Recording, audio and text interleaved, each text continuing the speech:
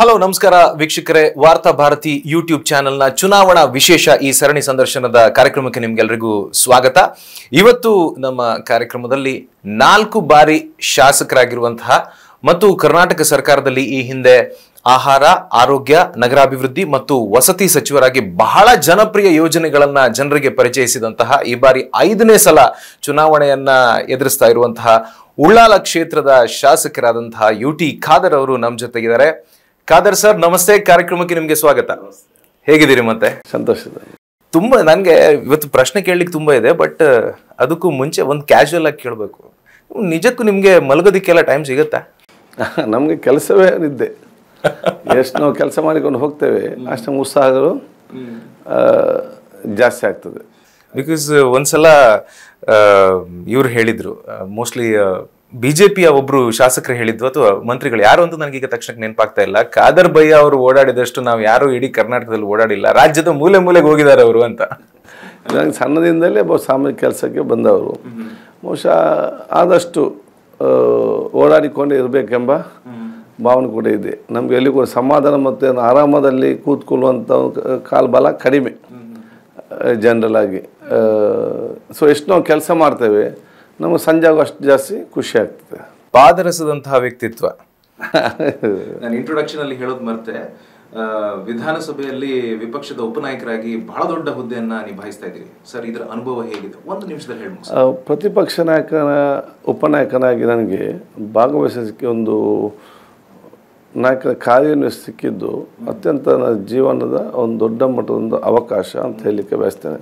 ಅದು ಕೂಡ ಸಿದ್ದರಾಮಯ್ಯನಂತಹವರ ಆ ಒಂದು ಮೇಧಾವಿಯ ಆ ನಾಯಕತ್ವದ ಅಡಿಯಲ್ಲಿ ಬಹುಶಃ ನಮ್ಮ ಮುಂದೆ ಎಲ್ಲ ಘಟಾನುಘಟಿಗಳು ಅದು ಹಿರಿಯ ನಾಯಕರಂತ ಯಡಿಯೂರಪ್ಪನವರು ಮುಖ್ಯಮಂತ್ರಿ ಎಸ್ ಆರ್ ಬೊಮ್ಮಯ್ಯವರು ಅದು ಹಿರಿಯ ಅಂತ ಕಾನೂನು ಮಂತ್ರಿ ಅಂತ ಮಾಧುಸ್ವಾಮಿಯವರು ಅರವಿಂದ್ ಕಾರ್ ನಮ್ಮ ಗೋವಿಂದ ಕಾರಜೋಳ ಗೋವಿಂದ ಕಾರಜೋಳ ಅವರು ಅಶೋಕ್ ಇಂಥ ಮಂತ್ರಿಗಳ ವಿರುದ್ಧ ಅಂದರೆ ಅವರ ಒಂದು ಪ್ರತಿಸ್ಪರ್ಧಿಯಾಗಿ. ಅವರು ಮತ್ತು ಇಡೀ ಸರ್ಕಾರ ಮಾಡುವಂಥೆಲ್ಲ ತಪ್ಪುಗಳನ್ನು ಎತ್ತಿ ಮಾತಾಡಲಿಕ್ಕೆ. ಮತ್ತು ಸಮಾಜದಲ್ಲಿ ಜನಪರವಾಗಿ ಇವತ್ತು ಜನ ಧ್ವನಿಯಾಗಿ ಇವತ್ತು ಪ್ರತಿನಿಧಿಸಲಿಕ್ಕೆ ಸಿಕ್ಕ ದೊಡ್ಡ ಮಟ್ಟದ ಅವಕಾಶ. ಅವಕಾಶವನ್ನು ಸಮರ್ಪಕ ಸದುಪಯೋಗಪಡಿಸಿ ಅಂತ ಸಮಾಧಾನ ನನಗೆ ಇದೆ. ಈ ಬಾರಿ ಚುನಾವಣೆಯ ಬಗ್ಗೆ ಮತ್ತು ನಿಮ್ಮ ಮೇಲಿರುವಂಥ ಒಂದಿಷ್ಟು ಆರೋಪಗಳ ಬಗ್ಗೆ ನೇರವಾದಂಥ ಪ್ರಶ್ನೆಗಳನ್ನು ನಾನು ಕೇಳಬೇಕು ಅಂತಿದ್ದೇನೆ ಸರ್, ಮೊದಲನೇದಾಗಿ ದಕ್ಷಿಣ ಕನ್ನಡ ವಿಧಾನಸಭಾ ಕ್ಷೇತ್ರಗಳಲ್ಲಿ ಅತಿ ಹೆಚ್ಚು ಚರ್ಚೆ ಮತ್ತು ಸುದ್ದಿಯಲ್ಲಿರುವಂಥದ್ದು ಪ್ರಾಯಶಃ ನಿಮ್ಮ ಕ್ಷೇತ್ರ. ಆಯ್ತಾ? ಮತ್ತು ಅತಿ ಹೆಚ್ಚು ಜನ ಮಾತನಾಡ್ತಾ ಇರುವಂಥ ಕಾಂಗ್ರೆಸ್ ಅಭ್ಯರ್ಥಿ ಅಂತಂದ್ರೆ ಅದು ಯು ಟಿ ಖಾದರ್ ಅವರೇ. ಯಾಕೆ ಈ ಪ್ರಶ್ನೆಯನ್ನು ಕೇಳ್ತಿದ್ದೀನಿ ಅಂತಂದ್ರೆ ನೀವೇನಾದರೂ ಒಂದು ಒಳ್ಳೆ ಕೆಲಸ ಮಾಡಿದ್ರೆ ಸಿಕ್ಕಾಪಟ್ಟೆ ಪ್ರಶಂಸೆ ಸಿಗ್ತದೆ ನಿಮಗೆ. ಹಾಗೆ ಅದೇ ತರ ಟ್ರೋಲ್ ಕೂಡ ಆಗ್ತೀರಾ ಸರ್? ಇದ್ರ ಹಿಂದಿನ ಏನು ಕಾರಣ ಅಂತ? ನೋಡಿ ಇವತ್ತು ಅತ್ಯಂತ ಜನ ಮಾತಾಡೋ ಕ್ಷೇತ್ರ ಯಾಕೆ ಅಂತ ಹೇಳಿದರೆ ಕಳೆದ ಒಂದು ಚುನಾವಣೆ ಎಂಟು ಚು ಕ್ಷೇತ್ರದಲ್ಲಿ ಒಂದು ಮಾತ್ರ ಕಾಂಗ್ರೆಸ್ ಗೆದ್ದಿದೆ. ಈಗ ಒಂದೇ ಕ್ಷೇತ್ರ ಅಂತ ಇರುವಂಥದ್ದು ಈಗ ಚುನಾವಣೆ ಹೋಗುವಾಗ. ಸೊ ಬಿ ಜೆ ಪಿ ಮತದೆಲ್ಲ ಆ ಒಂದು ಸಂಸ, ಅವರಿಗೆ ಇದನ್ನು ಒಂದು ತೆಗಿಬೇಕೆಂಬ ದೊಡ್ಡ ಮಟ್ಟನ ಆ ಒಂದು ಕನಸಿದೆ. ಭಾಳಷ್ಟು ಹಿಂದಿನ ದೊಡ್ಡ ಮಟ್ಟವರ ಕನಸು ಆ ಇದಕ್ಕೆ. ಆ ಕಾಲಘಟ್ಟಕ್ಕೆ ಅವರು ಹೋರಾಡ್ತಾ ಇದ್ದಾರೆ. ಇದನ್ನು ಉಳಿಸ್ಕೊಳ್ಳಿಕ್ಕೆ ಬೇಕಾಗಿ ನಮ್ಮ ಕಾರ್ಯಕರ್ತರು ಕುರಿತು ಎಲ್ಲ ರೀತಿಯ ಪ್ರಯತ್ನವನ್ನು ಮತ್ತು ನಮ್ಮ ಕ್ಷೇತ್ರ ಮತದಾರರು, ಜನಸಾಮಾನ್ಯ ಎಲ್ಲರೂ ಕೂಡ ಅವರ ಶತ ಪ್ರಯತ್ನ ಕೂಡ ಇದನ್ನು ಯಾವುದೇ ರೀತಿಯ ಬಿಟ್ಟುಕೊಡೋದಿಲ್ಲ ನಾವು. ನಾವು ಇದನ್ನು ಉಳಿಸ್ಕೊಳ್ತೇವೆ ಅಂತೇಳಿ ಆ ಒಂದು ಅವ್ರು ತಯಾರಾಗಿ ನಿಂತಿದ್ದಾರೆ. ಈ ಸಣ್ಣ ಚರ್ಚೆ ಬರೋದು ಸ್ವಾಭಾವಿಕ. ಮತ್ತು ಉತ್ತಮವಾದ ಕೆಲಸ ಮಾಡುವಾಗ ಬಹುಶಃ ಇವತ್ತು ಪ್ರಶಂಸಿಸ್ತಾರೆ. ಸಣ್ಣ ಪುಟ್ಟ ವಿಚಾರ ಆದಾಗ ಇವತ್ತು ಟ್ರಾಲ್ಗಳು ಪಡಿಸ್ತಾರೆ. ಇದು ಯಾಕಂತ ಹೇಳಿ ಟ್ರಾಲ್ ಮಾಡೋರು ಕೂಡ ಯಾರನ್ನು ಟ್ರಾಲ್ ಮಾಡಿದರೆ ಅವರಿಗೆ ಪ್ರಯೋಜನ ಅಂತಿಲ್ಲ, ಟ್ರಾಲ್ ಮಾಡೋರು ಕೂಡ ನೋಡ್ತಾನೆ. ಸಿಕ್ಕ ಸಿಕ್ಕವನು ಟ್ರಾಲ್ ಮಾಡೋರಿಗೇನು ಕೂಡ ಪ್ರಯೋಜನ ಇರೋದಿಲ್ಲ ಸೊ ಈ ಟ್ರಾಲ್ ಮಾಡುವವರೇ ಒಂದು ಟೀಮ್ ಇದೆ. ಅವ್ರು ಅದರಲ್ಲಿ ಅವ್ರದ್ದೇ ಒಂದು ಆ ಟ್ರಾಲ್ ಮಾಡಿ ಅದನ್ನು ಯಾರು ನೋಡ್ತಾರೆ ಹೇಗೆ ನೋಡ್ತಾರೆ ಅನ್ನೋ ವಿಚಾರ ಇದೆ. ಮತ್ತು ನಾನೇ ಪ್ರತಿಪ ಪಕ್ಷ ನಾನು ಒಬ್ಬನೇ ಶಾಸಕನಾದ ಕಾರಣ ಮತ್ತು ಪ್ರತಿಪಕ್ಷದ ಉಪನಾಯಕನಾದ ಕಾರಣ ಸ್ವಾಭಾವಿಕವಾಗಿ ಜಾಸ್ತಿ ಕೇಂದ್ರೀಕೃತವಾಗ್ತದೆ. ಅದು ನೆಗೆಟಿವ್ ಇದ್ದು ಕೂಡ ಪಾಸಿಟಿವ್ ಇದ್ದು ಕೂಡ. ನಾನು ಅದಕ್ಕೆ ಯಾವಾಗಲೂ ಆಲೋಚನೆ ಮಾಡ್ತಿದ್ದೆ. ಖಾಲಿ ಮರಕ್ಕೆ ಯಾರು ಕೂಡ ಕಲ್ಲು ಬಿಸಾಡೋದಿಲ್ಲ. ಇರಲೇಬೇಕು. ಮಾವಿನನ್ನು ಹಣ್ಣಂಪಲ್ಲಿದ್ದರೆ ಮಾತ್ರ ಬಿಸಾಡ್ತಾರೆ. ಏನು ತಾಗಿದೆ ಕೆಳಗೆ ಬೀಳ್ಬೋದು ಸಿಗ್ಬೋದು ಎಂಬ ಭಾವನೆಗಳು ಇವತ್ತು ಇದೆ. ಸೊ ಇದನ್ನು ಸಕಾರಾತ್ಮಕವಾಗಿ ನಾವು ಸ್ವೀಕರಿಸಿಕೊಂಡು ಟೆನ್ಷನ್ ರಹಿತವಾದ ರಾಜ್ಯಕ್ಕೆ ನಾವು ಮಾಡ್ತೇವೆ ರೋಲ್ ಬಗ್ಗೆ ತಲೆನೇ ಕೆಡಿಸ್ಕೊಳ್ಳೋದಿಲ್ಲ. ಟ್ರೋಲ್ ಬಗ್ಗೆ ನಾವು ತಲೆನೇ ಕೆಡಿಸೋಂಥ ಪ್ರಶ್ನೆ ಇಲ್ಲ. ಯಾಕಂತ ಹೇಳಿದರೆ ನಾವು ನಿನ್ನೆಲ್ಲ ಮೊನ್ನೆ ಯಾವ ಡ್ರೆಸ್ ಹಾಕಿದೆ ಅಂತ ನಾವು ನೆನಪಿಲ್ಲ. ಇದು ನಿನ್ನೆ ಬಂದ ಟ್ರೋಲನ್ನು ಇವತ್ತು ಯಾರು ಕೂಡ ನೆನಪಿಡ್ಕೊಳ್ಳೋದಿಲ್ಲ ಆದ ಕಾರಣ ಬಹುಶಃ ಒಳ್ಳೇದು ಬಂದ ಜನ ಒಳ್ಳೇದಿರ್ತದೆ ನೆಗೆಟಿವ್ ನೆಗೆಟಿವ್ ಅದು ಯಾವತ್ತಾವತ್ತ ಎರಡು ಮೂರು ದಿವಸ ಜನರಿಗೆ ಅದರ ಬಗ್ಗೆ ಆಲೋಚನೆ ಇರೋದು ಇರುವುದಿಲ್ಲ. ಹಾಗೆ ಸರ್. ಇನ್ನು ಮುಂದಕ್ಕೆ ಹೋಗುವ. ನಾಲ್ಕು ಬಾರಿ ಚುನಾವಣೆಯನ್ನು ಎದುರಿಸಿದಿರಿ ಈ ಬಾರಿ ಐದನೇ ಸಲ ನಿಮ್ಮ ತಂದೆಯವರು ನಿಧನರಾದಾಗಿನಿಂದನೂ ಕೂಡ ಅಲ್ಲಿ ಉಪಚುನಾವಣೆ ನಡೀತು ಮತ್ತೆ ನಾಲ್ಕು ಬಾರಿ ನೀವು ಗೆದ್ದಂತ ಸಂದರ್ಭಗಳು ಮತ್ತು ಅಂತರ ಎಲ್ಲವೂ ಕೂಡ ಬೇರೆ ಬೇರೆ ಬೇರೆ ಆಗಿತ್ತು. ಅಲ್ವಾ? ಈ ಸಂದರ್ಭದಲ್ಲಿ ಈ ಸಲದ ಚುನಾವಣೆ ಯಾವ ರೀತಿಯಲ್ಲಿ ನಿಮಗೆ ಭಿನ್ನ ಅಂತ ಅನ್ಸುತ್ತೆ? ಈ ಸಲ ಈ ಸಲದ ಚುನಾವಣೆ ನನ್ನ ನಾಲ್ಕು ಚುನಾವಣೆಯಲ್ಲಿ ನನಗೆ ವಿಶೇಷ ಒಂದು ಚು ಈ ಒಂದು ಚುನಾವಣೆ. ಈ ಚುನಾವಣೆ ಜನಸಾಮಾನ್ಯ ಪ್ರೀತಿ, ವಿಶ್ವಾಸ ಭಾಳಷ್ಟಿತ್ತು ನಮ್ಮ ಪಕ್ಷದ ಮೇಲೆ ಮತ್ತು ನನ್ನ ಮೇಲೆ ಇದೆ.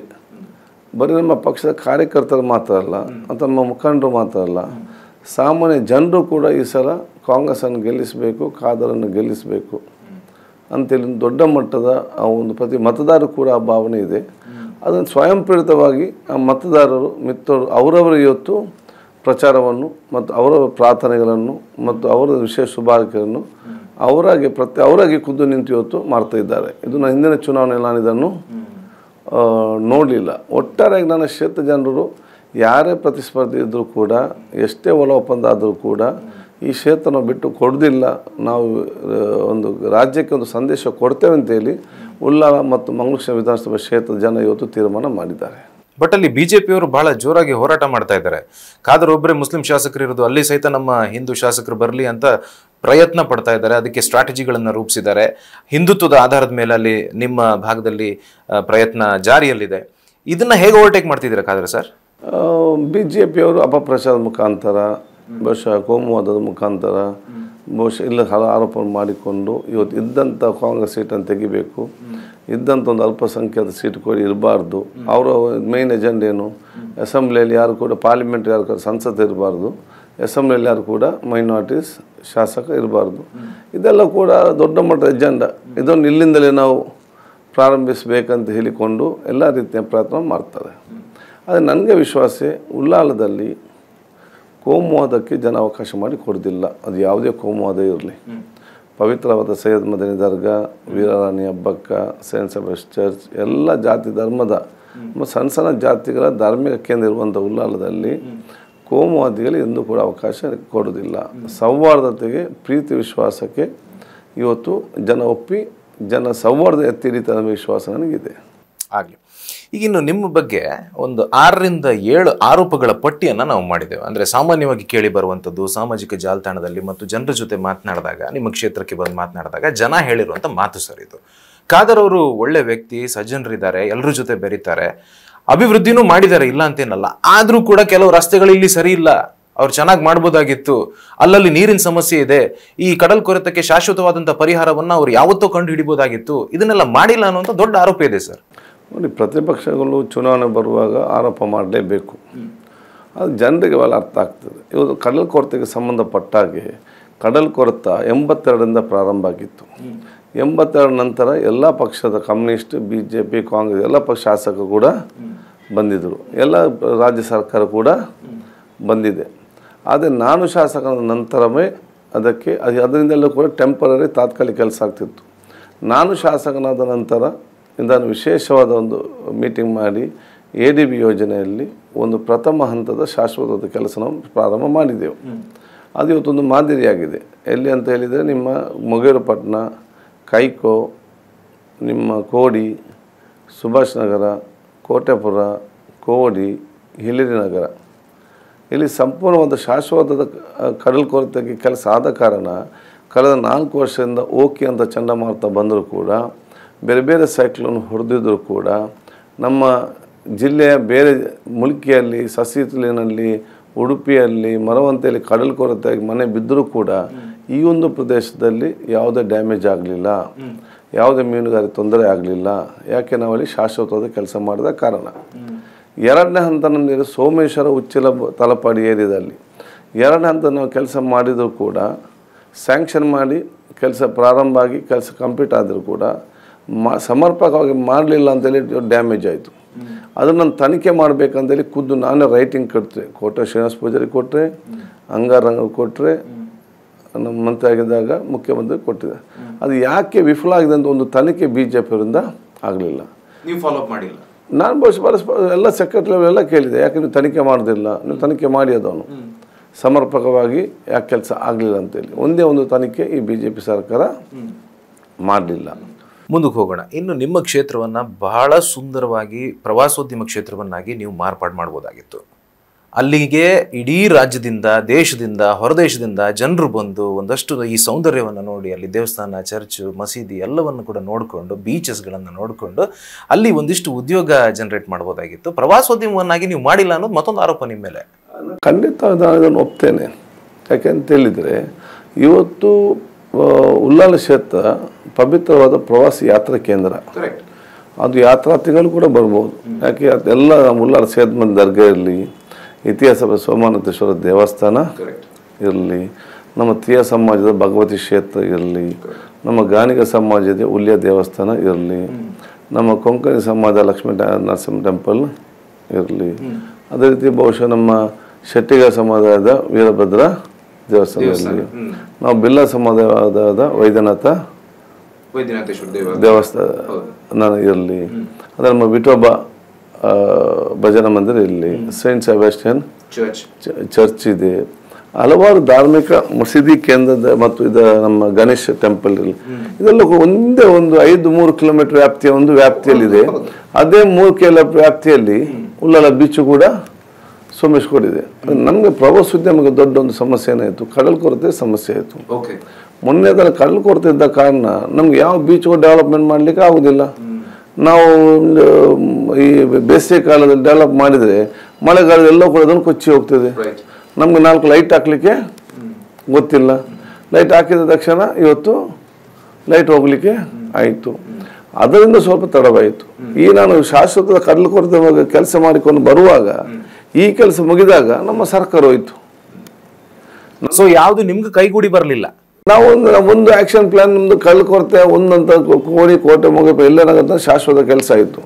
ಈಗ ಉಳ್ಳಾಲ ಬೀಚ್ ಇರಲಿ ಇಲ್ಲೇನ ಅಲ್ಲಿ ಸುಭಾಷ್ ನಗರ ಇರಲಿ ಕೈಕೋ ಇರಲಿ ಇಲ್ಲೇ ನಗರ ಇರಲಿ ಮುಗೇರ್ಪಟ್ಟಣ ಅಲ್ಲಿಗೆ ಕಲ್ಲು ಕೊರತೆ ಇಲ್ಲ. ಈಗ ನಾವು ಅದನ್ನು ಡೆವಲಪ್ ಮಾಡುವಾಗ ಈ ಹೊಸ ಸರ್ಕಾರ ಬಂತು ಐದು ವರ್ಷದಿಂದ. ಒಂದೇ ಒಂದಲ್ಲಿ ಅನುದಾನ ಇವತ್ತು ಬಿಡುಗಡೆ ನಾವು ಪ್ರವಾಸೋದ್ಯಮಕ್ಕೆ ಮಾಡಲಿಲ್ಲ. ಸೊ ನೆಕ್ಸ್ಟ್ ನಮ್ಮ ಸರ್ಕಾರ ಬಂದರೆ ಅದಕ್ಕೆ ನಾವು ನಮ್ಮ ಸರ್ಕಾರ ಬಂದರೆ ಅದಕ್ಕೆ ಒಂದು ಮಾಸ್ಟರ್ ಪ್ಲಾನ್ ಮಾಡಿ ಮೊದಲ ಆದ್ಯತೆ ಅನ್ನೋದನ್ನು ಮಾಡ್ತೇನೆ. ಇದೇ ಮಾತು. ಆ ನೂರಕ್ಕೂ ನೂರು ಗ್ಯಾರಂಟಿ ಒಂದು. ನೆಕ್ಸ್ಟ್ ನೋಡಿ ನಾವು ಶಾಶ್ವತ ಯಾವುದೇ ನೀವು ಕೆಲಸ ಮಾಡಿದರೂ ಕೂಡ ಅದನ್ನು ಮೇಂಟೈನ್ ಮಾಡಬೇಕು. ಕರೆಕ್ಟ್ ಮೇಂಟೈನ್ ಮಾಡಲಿಕ್ಕೆ ಒಂದು ದುಡ್ಡಿಲ್ಲ. ಇವತ್ತು ಪ್ರಾಬ್ಲಮ್ ಏನಾಗಿದೆ ನೀವು ಕೆಲಸ ಮಾಡುವಾಗ ಎ ಡಿ ಬಿ ಯೋಜನೆ ಕೊಡ್ತೀವಿ ಒಂದು ಏಜೆನ್ಸಿ. ಅವರ ಪೋರ್ಟ್ ಡಿಪಾರ್ಟ್ಮೆಂಟ್ ಹ್ಯಾಂಡ್ ಓವರ್ ಮಾಡಿ ಅವರು ಹೋಗಿದ್ದಾರೆ. ಪೋರ್ಟ್ಗೆ ನಾವು ದುಡ್ಡು ಕೊಡಬೇಕಾ ವರ್ಷ ವರ್ಷ? ಈಗ ಡ್ಯಾಮೇಜ್ ಆಗಿ ಬಿದ್ದರೆ ಅದನ್ನು ರಿಪೇರ್ ಮಾಡೋ ಸಮಸ್ಯೆ ಪೋರ್ಟ್ ಹೊರತು ದುಡ್ಡು ಇರುವುದಿಲ್ಲ. ಅದಕ್ಕಾಗಿ ನೋಡಿ ಯಾವುದೇ ಶ, ನಿಮ್ಮ ಮನೆ ನಾವು ಕಟ್ಟಿದರೂ ಕೂಡ ನಾವು ವರ್ಷಕ್ಕೊಮ್ಮೆ ಮೇಂಟೈನ್ ಮಾಡಬೇಕು ಮನೆಯನ್ನು. ನಾವು ಮನೆ ಹಾಗೆ ಬಿಟ್ಟು ಬಿದ್ದರೆ ಮನೆ ಆದಷ್ಟು ಬೇಗನೆ ಕೆಳಗೆ ಬೀಳುವಂಥ ಪರಿಸ್ಥಿತಿ ಆಗ್ತದೆ. ಮೇಂಟೈನ್ ಮಾಡಲೇಬೇಕು. ಈ ಕೆಲಸವನ್ನು ಕೂಡ ಮೇಂಟೈನ್ ಮಾಡಲೇಬೇಕು. ಅದನ್ನ ಹೇಳಿ ಸರ್ಕಾರ ಮಾಡದಂಥ ಕೆಲಸಗಳಿಗೆ ಮೇಂಟೈನ್ ಮಾಡಲಿಕ್ಕೆ ಇಷ್ಟು ಅನುದಾನ ಬಿಡುಗಡೆ ಮಾಡಬೇಕು. ಆಗಲಿ ಸರ್ ಒಟ್ಟಿಗೆ ನೀವು ಗೆಲ್ಲಬೇಕು ಅಲ್ಲಿ ನಿಮ್ಮ ಸರ್ಕಾರ ಬರಬೇಕು ಆಗ ಇದಕ್ಕೆಲ್ಲ ನಾನು ವ್ಯವಸ್ಥೆ ಮಾಡ್ತೇನೆ ಅನ್ನುವಂಥದ್ದು ಸ್ಪಷ್ಟ ಮತ್ತು ನೇರ ಮಾತು. ಸರ್ ಏನಂದರೆ ನೀವು ಕೋಟಿಗಟ್ಟಲೆ ಹಣ ಸಂಪಾದನೆ ಮಾಡಿದ್ದೀರಿ ಆ ಹಣ ಎಲ್ಲ ಗಲ್ಫ್ನ ಬ್ಯಾಂಕ್ನಲ್ಲಿ ಇಟ್ಟಿದ್ದೀರಿ ಅನ್ನೋದು ಮತ್ತೊಂದು ಆರೋಪ. ನನ್ನ ನಾನು ಹುಟ್ಟುವಾಗಲೇ ನನ್ನ ತಂದೆ ಶಾಸಕರು. ಐದರಲ್ಲಿ. ನೈನ್ಟೀನ್ ಸೆವೆಂಟಿ ಟೂ ನನಗೆ ಎರಡು ವರ್ಷ. ತಂದೆ ಫಸ್ಟ್ ಶಾಸಕರಾದಾಗ ಅವತ್ತಿನ ಕಾಲದ ಅರವತ್ತೈದನೇ ಇಸ್ವಿ ಕಾಲದಲ್ಲಿ ನನ್ನ ತಂದೆ ವಕೀಲರು. ಇದಕ್ಕೆ ಬಹಳ ಹೆಸರುವಾಸಿ ವಕೀಲರು ಹೌದು ಆವಾಗ. ಅಲ್ವಾ? ತದನಂತರ ಬಹುಶಃ ಅರವತ್ತಲ್ಲ ಐವತ್ತನೇ ಇಸವಿಯಲ್ಲಿ ನನ್ನ ತಂದೆ ತಂದೆಯವರು ವ್ಯಾಪಾರಸ್ಥರು. ಅಜ್ಜ. ಅಜ್ಜ ತಂದೆ ತಂದೆ ನೈನ್ಟೀನ್ ಫಿಫ್ಟಿಯಲ್ಲಿ. ನನ್ನ ತಾಯಿಯ ತಂದೆಯವರು ದೊಡ್ಡ ಕಾಂಟ್ರಾಕ್ಟರ್ ಸೊ ಒಟ್ನಲ್ಲಿ ನಿಮ್ಮ ಫ್ಯಾಮಿಲಿನೇ ಮಂಗಳೂರು ಟು ಹಾಸನ ರೈಲ್ವೆ ಸ್ಟೇ ರೈಲ್ವೆ ಮಾಡಿದ್ದೆ ಅವರು. ಮಂಗಳೂರು ಸೆಂಟ್ರಲ್ ಮಾರ್ಕೆಟ್ ಕಟ್ಟಿದ್ದು ಅವರು. ನಿಮ್ಮ ಆರ್ ಟಿ ಆಫೀಸ್ ಹಿಂದೆ ಆ ಒಂದು ಕ್ವಾರ್ಟರ್ಸ್ ಕಟ್ಟಿದ್ದು ಫೈರ್ ಸ್ಟೇಷನ್ ಭಾಗ ಅವರು. ಮಂಗಳೂರಿನ ಕೊಂಕಣ ರೈಲ್ವೆ ಬಿಲ್ಡಿಂಗ್ ಕಟ್ಟಿದ್ದು ಅವರು. ಕಂಕನಾಡಿಯ ರೈಲ್ವೆ ಸ್ಟೇಷನ್ ಕಟ್ಟಿದ್ದು ಅವರು. ಮಂಗಳೂರು ಆಯ್ತಲ್ಲ ಹಾಗಾದ್ರೆ? ಮಂಗಳೂರು ಸ್ವಿಮ್ಮಿಂಗ್ ಪೂಲ್ ಕಟ್ಟಿದ್ದು ಇಲ್ಲಿ ಮಾತಲ್ಲ ಬೇ ಅಲ್ಲ ಅವತ್ತಿಂದಲೇ ನಮ್ಮ ಫ್ಯಾಮಿಲಿಯಲ್ಲಿ ಇವತ್ತು ಆ ಒಂದು ಬಿಸ್ನೆಸ್ ಮಧ್ಯದ ಬಂದವರು ಒಂದು. ಅನುಕೂಲ ಅವರು ಇತ್ತು ಇಲ್ಲ ಅಂತಲ್ಲ ಆವಾಗ ಸಣ್ಣದಿಂದಲೇ. ಎಪ್ಪತ್ತಾರು ನಾನು ಎರಡು ವರ್ಷದಿಂದ ತಂದೆ ಶಾಸಕರಾಗಿ ಬಂದವರು ಒಂದು. ನಮಗೆ ಅನಗತ್ಯವಾಗಿ ದುಡ್ಡು ಮಾಡಿ ಏನು ಕೂಡ ಅಗತ್ಯವೂ ಇಲ್ಲ. ನಮಗೆ ಅದೊಂದು ಶೋ ಮಾಡುವಂಥ ಒಂದು ಉಚಿತನೂ ಕೂಡ ಇಲ್ಲ. ಈಗ ನಮ್ಮ ಕೆಲಸದ ಬಗ್ಗೆ ಏನು ಕೂಡ ಮಾತಾಡಲಿಕ್ಕೆ ಆಗುವುದಿಲ್ಲ ಇನ್ನಿತರ ಬಗ್ಗೆ ಕೆಲಸ ಮಾಡಲಿಕ್ಕೆ ಜನ ಕೈಗೆ ಸಿಕ್ಕುವುದರಿಂದ ಮಾತಾಡಲಿಕ್ಕೆ ಆಗುವುದಿಲ್ಲ ಈಗ ಬಹುಶಃ ಬೇರೆ ಇದೊಂದು ಆರೋಪ ಮಾಡಿದ್ದಾರೆ. ನಾನು ಹೇಳುವಂಥದ್ದು ಯಾರಿಗೆ ಏನೇ ಸಂಶಯ ಇದ್ದರೂ ಕೂಡ ಡೈರೆಕ್ಟಾಗಿ ಇ ಡಿಗೆ ಐ ಟಿಗೆ ಅಥವಾ ಇದಕ್ಕೆ ಬರೀಲಿ ಕಂಪ್ಲೇಂಟ್ ಬರೆಯಿಲ್ಲ. ಏನು ಬೇಕಾದ್ರೂ ತನಿಖೆ ಮಾಡಲಿ. ನಮಗೆ ಒಂದು ಪೈಸ ಒಂದು ವ್ಯಾಪಾರ. ನಮ್ಮ ಹೊರಗಡೆ ಇದೆ ಒಂದು ಪೈಸದು. ಮತ್ತು ನಮಗೇನಲ್ಲಿ ಆ ವ್ಯಾಸ ಸಂಬ- ಸಂಬಂಧಪಟ್ಟಿದೆ ಅಂತ ಹೇಳಿದರೆ ನಮ್ಮ ರಾಜ್ಯಕ್ಕೆ ನಿವೃತ್ತಿಯ ಜೊತೆಯಲ್ಲಿ ಅದು ಇಡೀ ಸಂಪತ್ತನ್ನೇ ಅಲ್ಲಿರೋ ಸಂಪತ್ತಲ್ಲ ಇಲ್ಲಿರೋ ಸಂಪತ್ತನ್ನು ಕೂಡ ಆ ಸಾಬೀತು ಮಾಡೋದನ್ನು ಕೊಟ್ಟು ಬಿಡ್ತೇವೆ ಬಹಳ ದೊಡ್ಡ ಸ್ಟೇಟ್ಮೆಂಟ್ ಮಾಡ್ತಿದ್ದೀರಿ ಕಾದರ್ ಸರ್. ನಮ್ಗೆ ಅಲ್ಲಿ ಯಾಕೆ ನಮ್ಗೆ ಎಲ್ಲಿಯೇ ನೋಡಲಿಕ್ಕೆ ನಮ್ಮ ತಂದೆ ತಂದೆ ತೋಟವನ್ನು ನೋಡೋದೇ ನಾವು ಹದಿನೈದು ವರ್ಷ ಆಯ್ತು ಹೋಗದೆ. ಇಲ್ಲಿ ಇದ್ದದ್ದನ್ನೇ ನಮಗೆ ನೋಡ್ಲಿಕ್ಕೆ ಪುರ್ಸೋದಿಲ್ಲ ಆಗುದಿಲ್ಲ.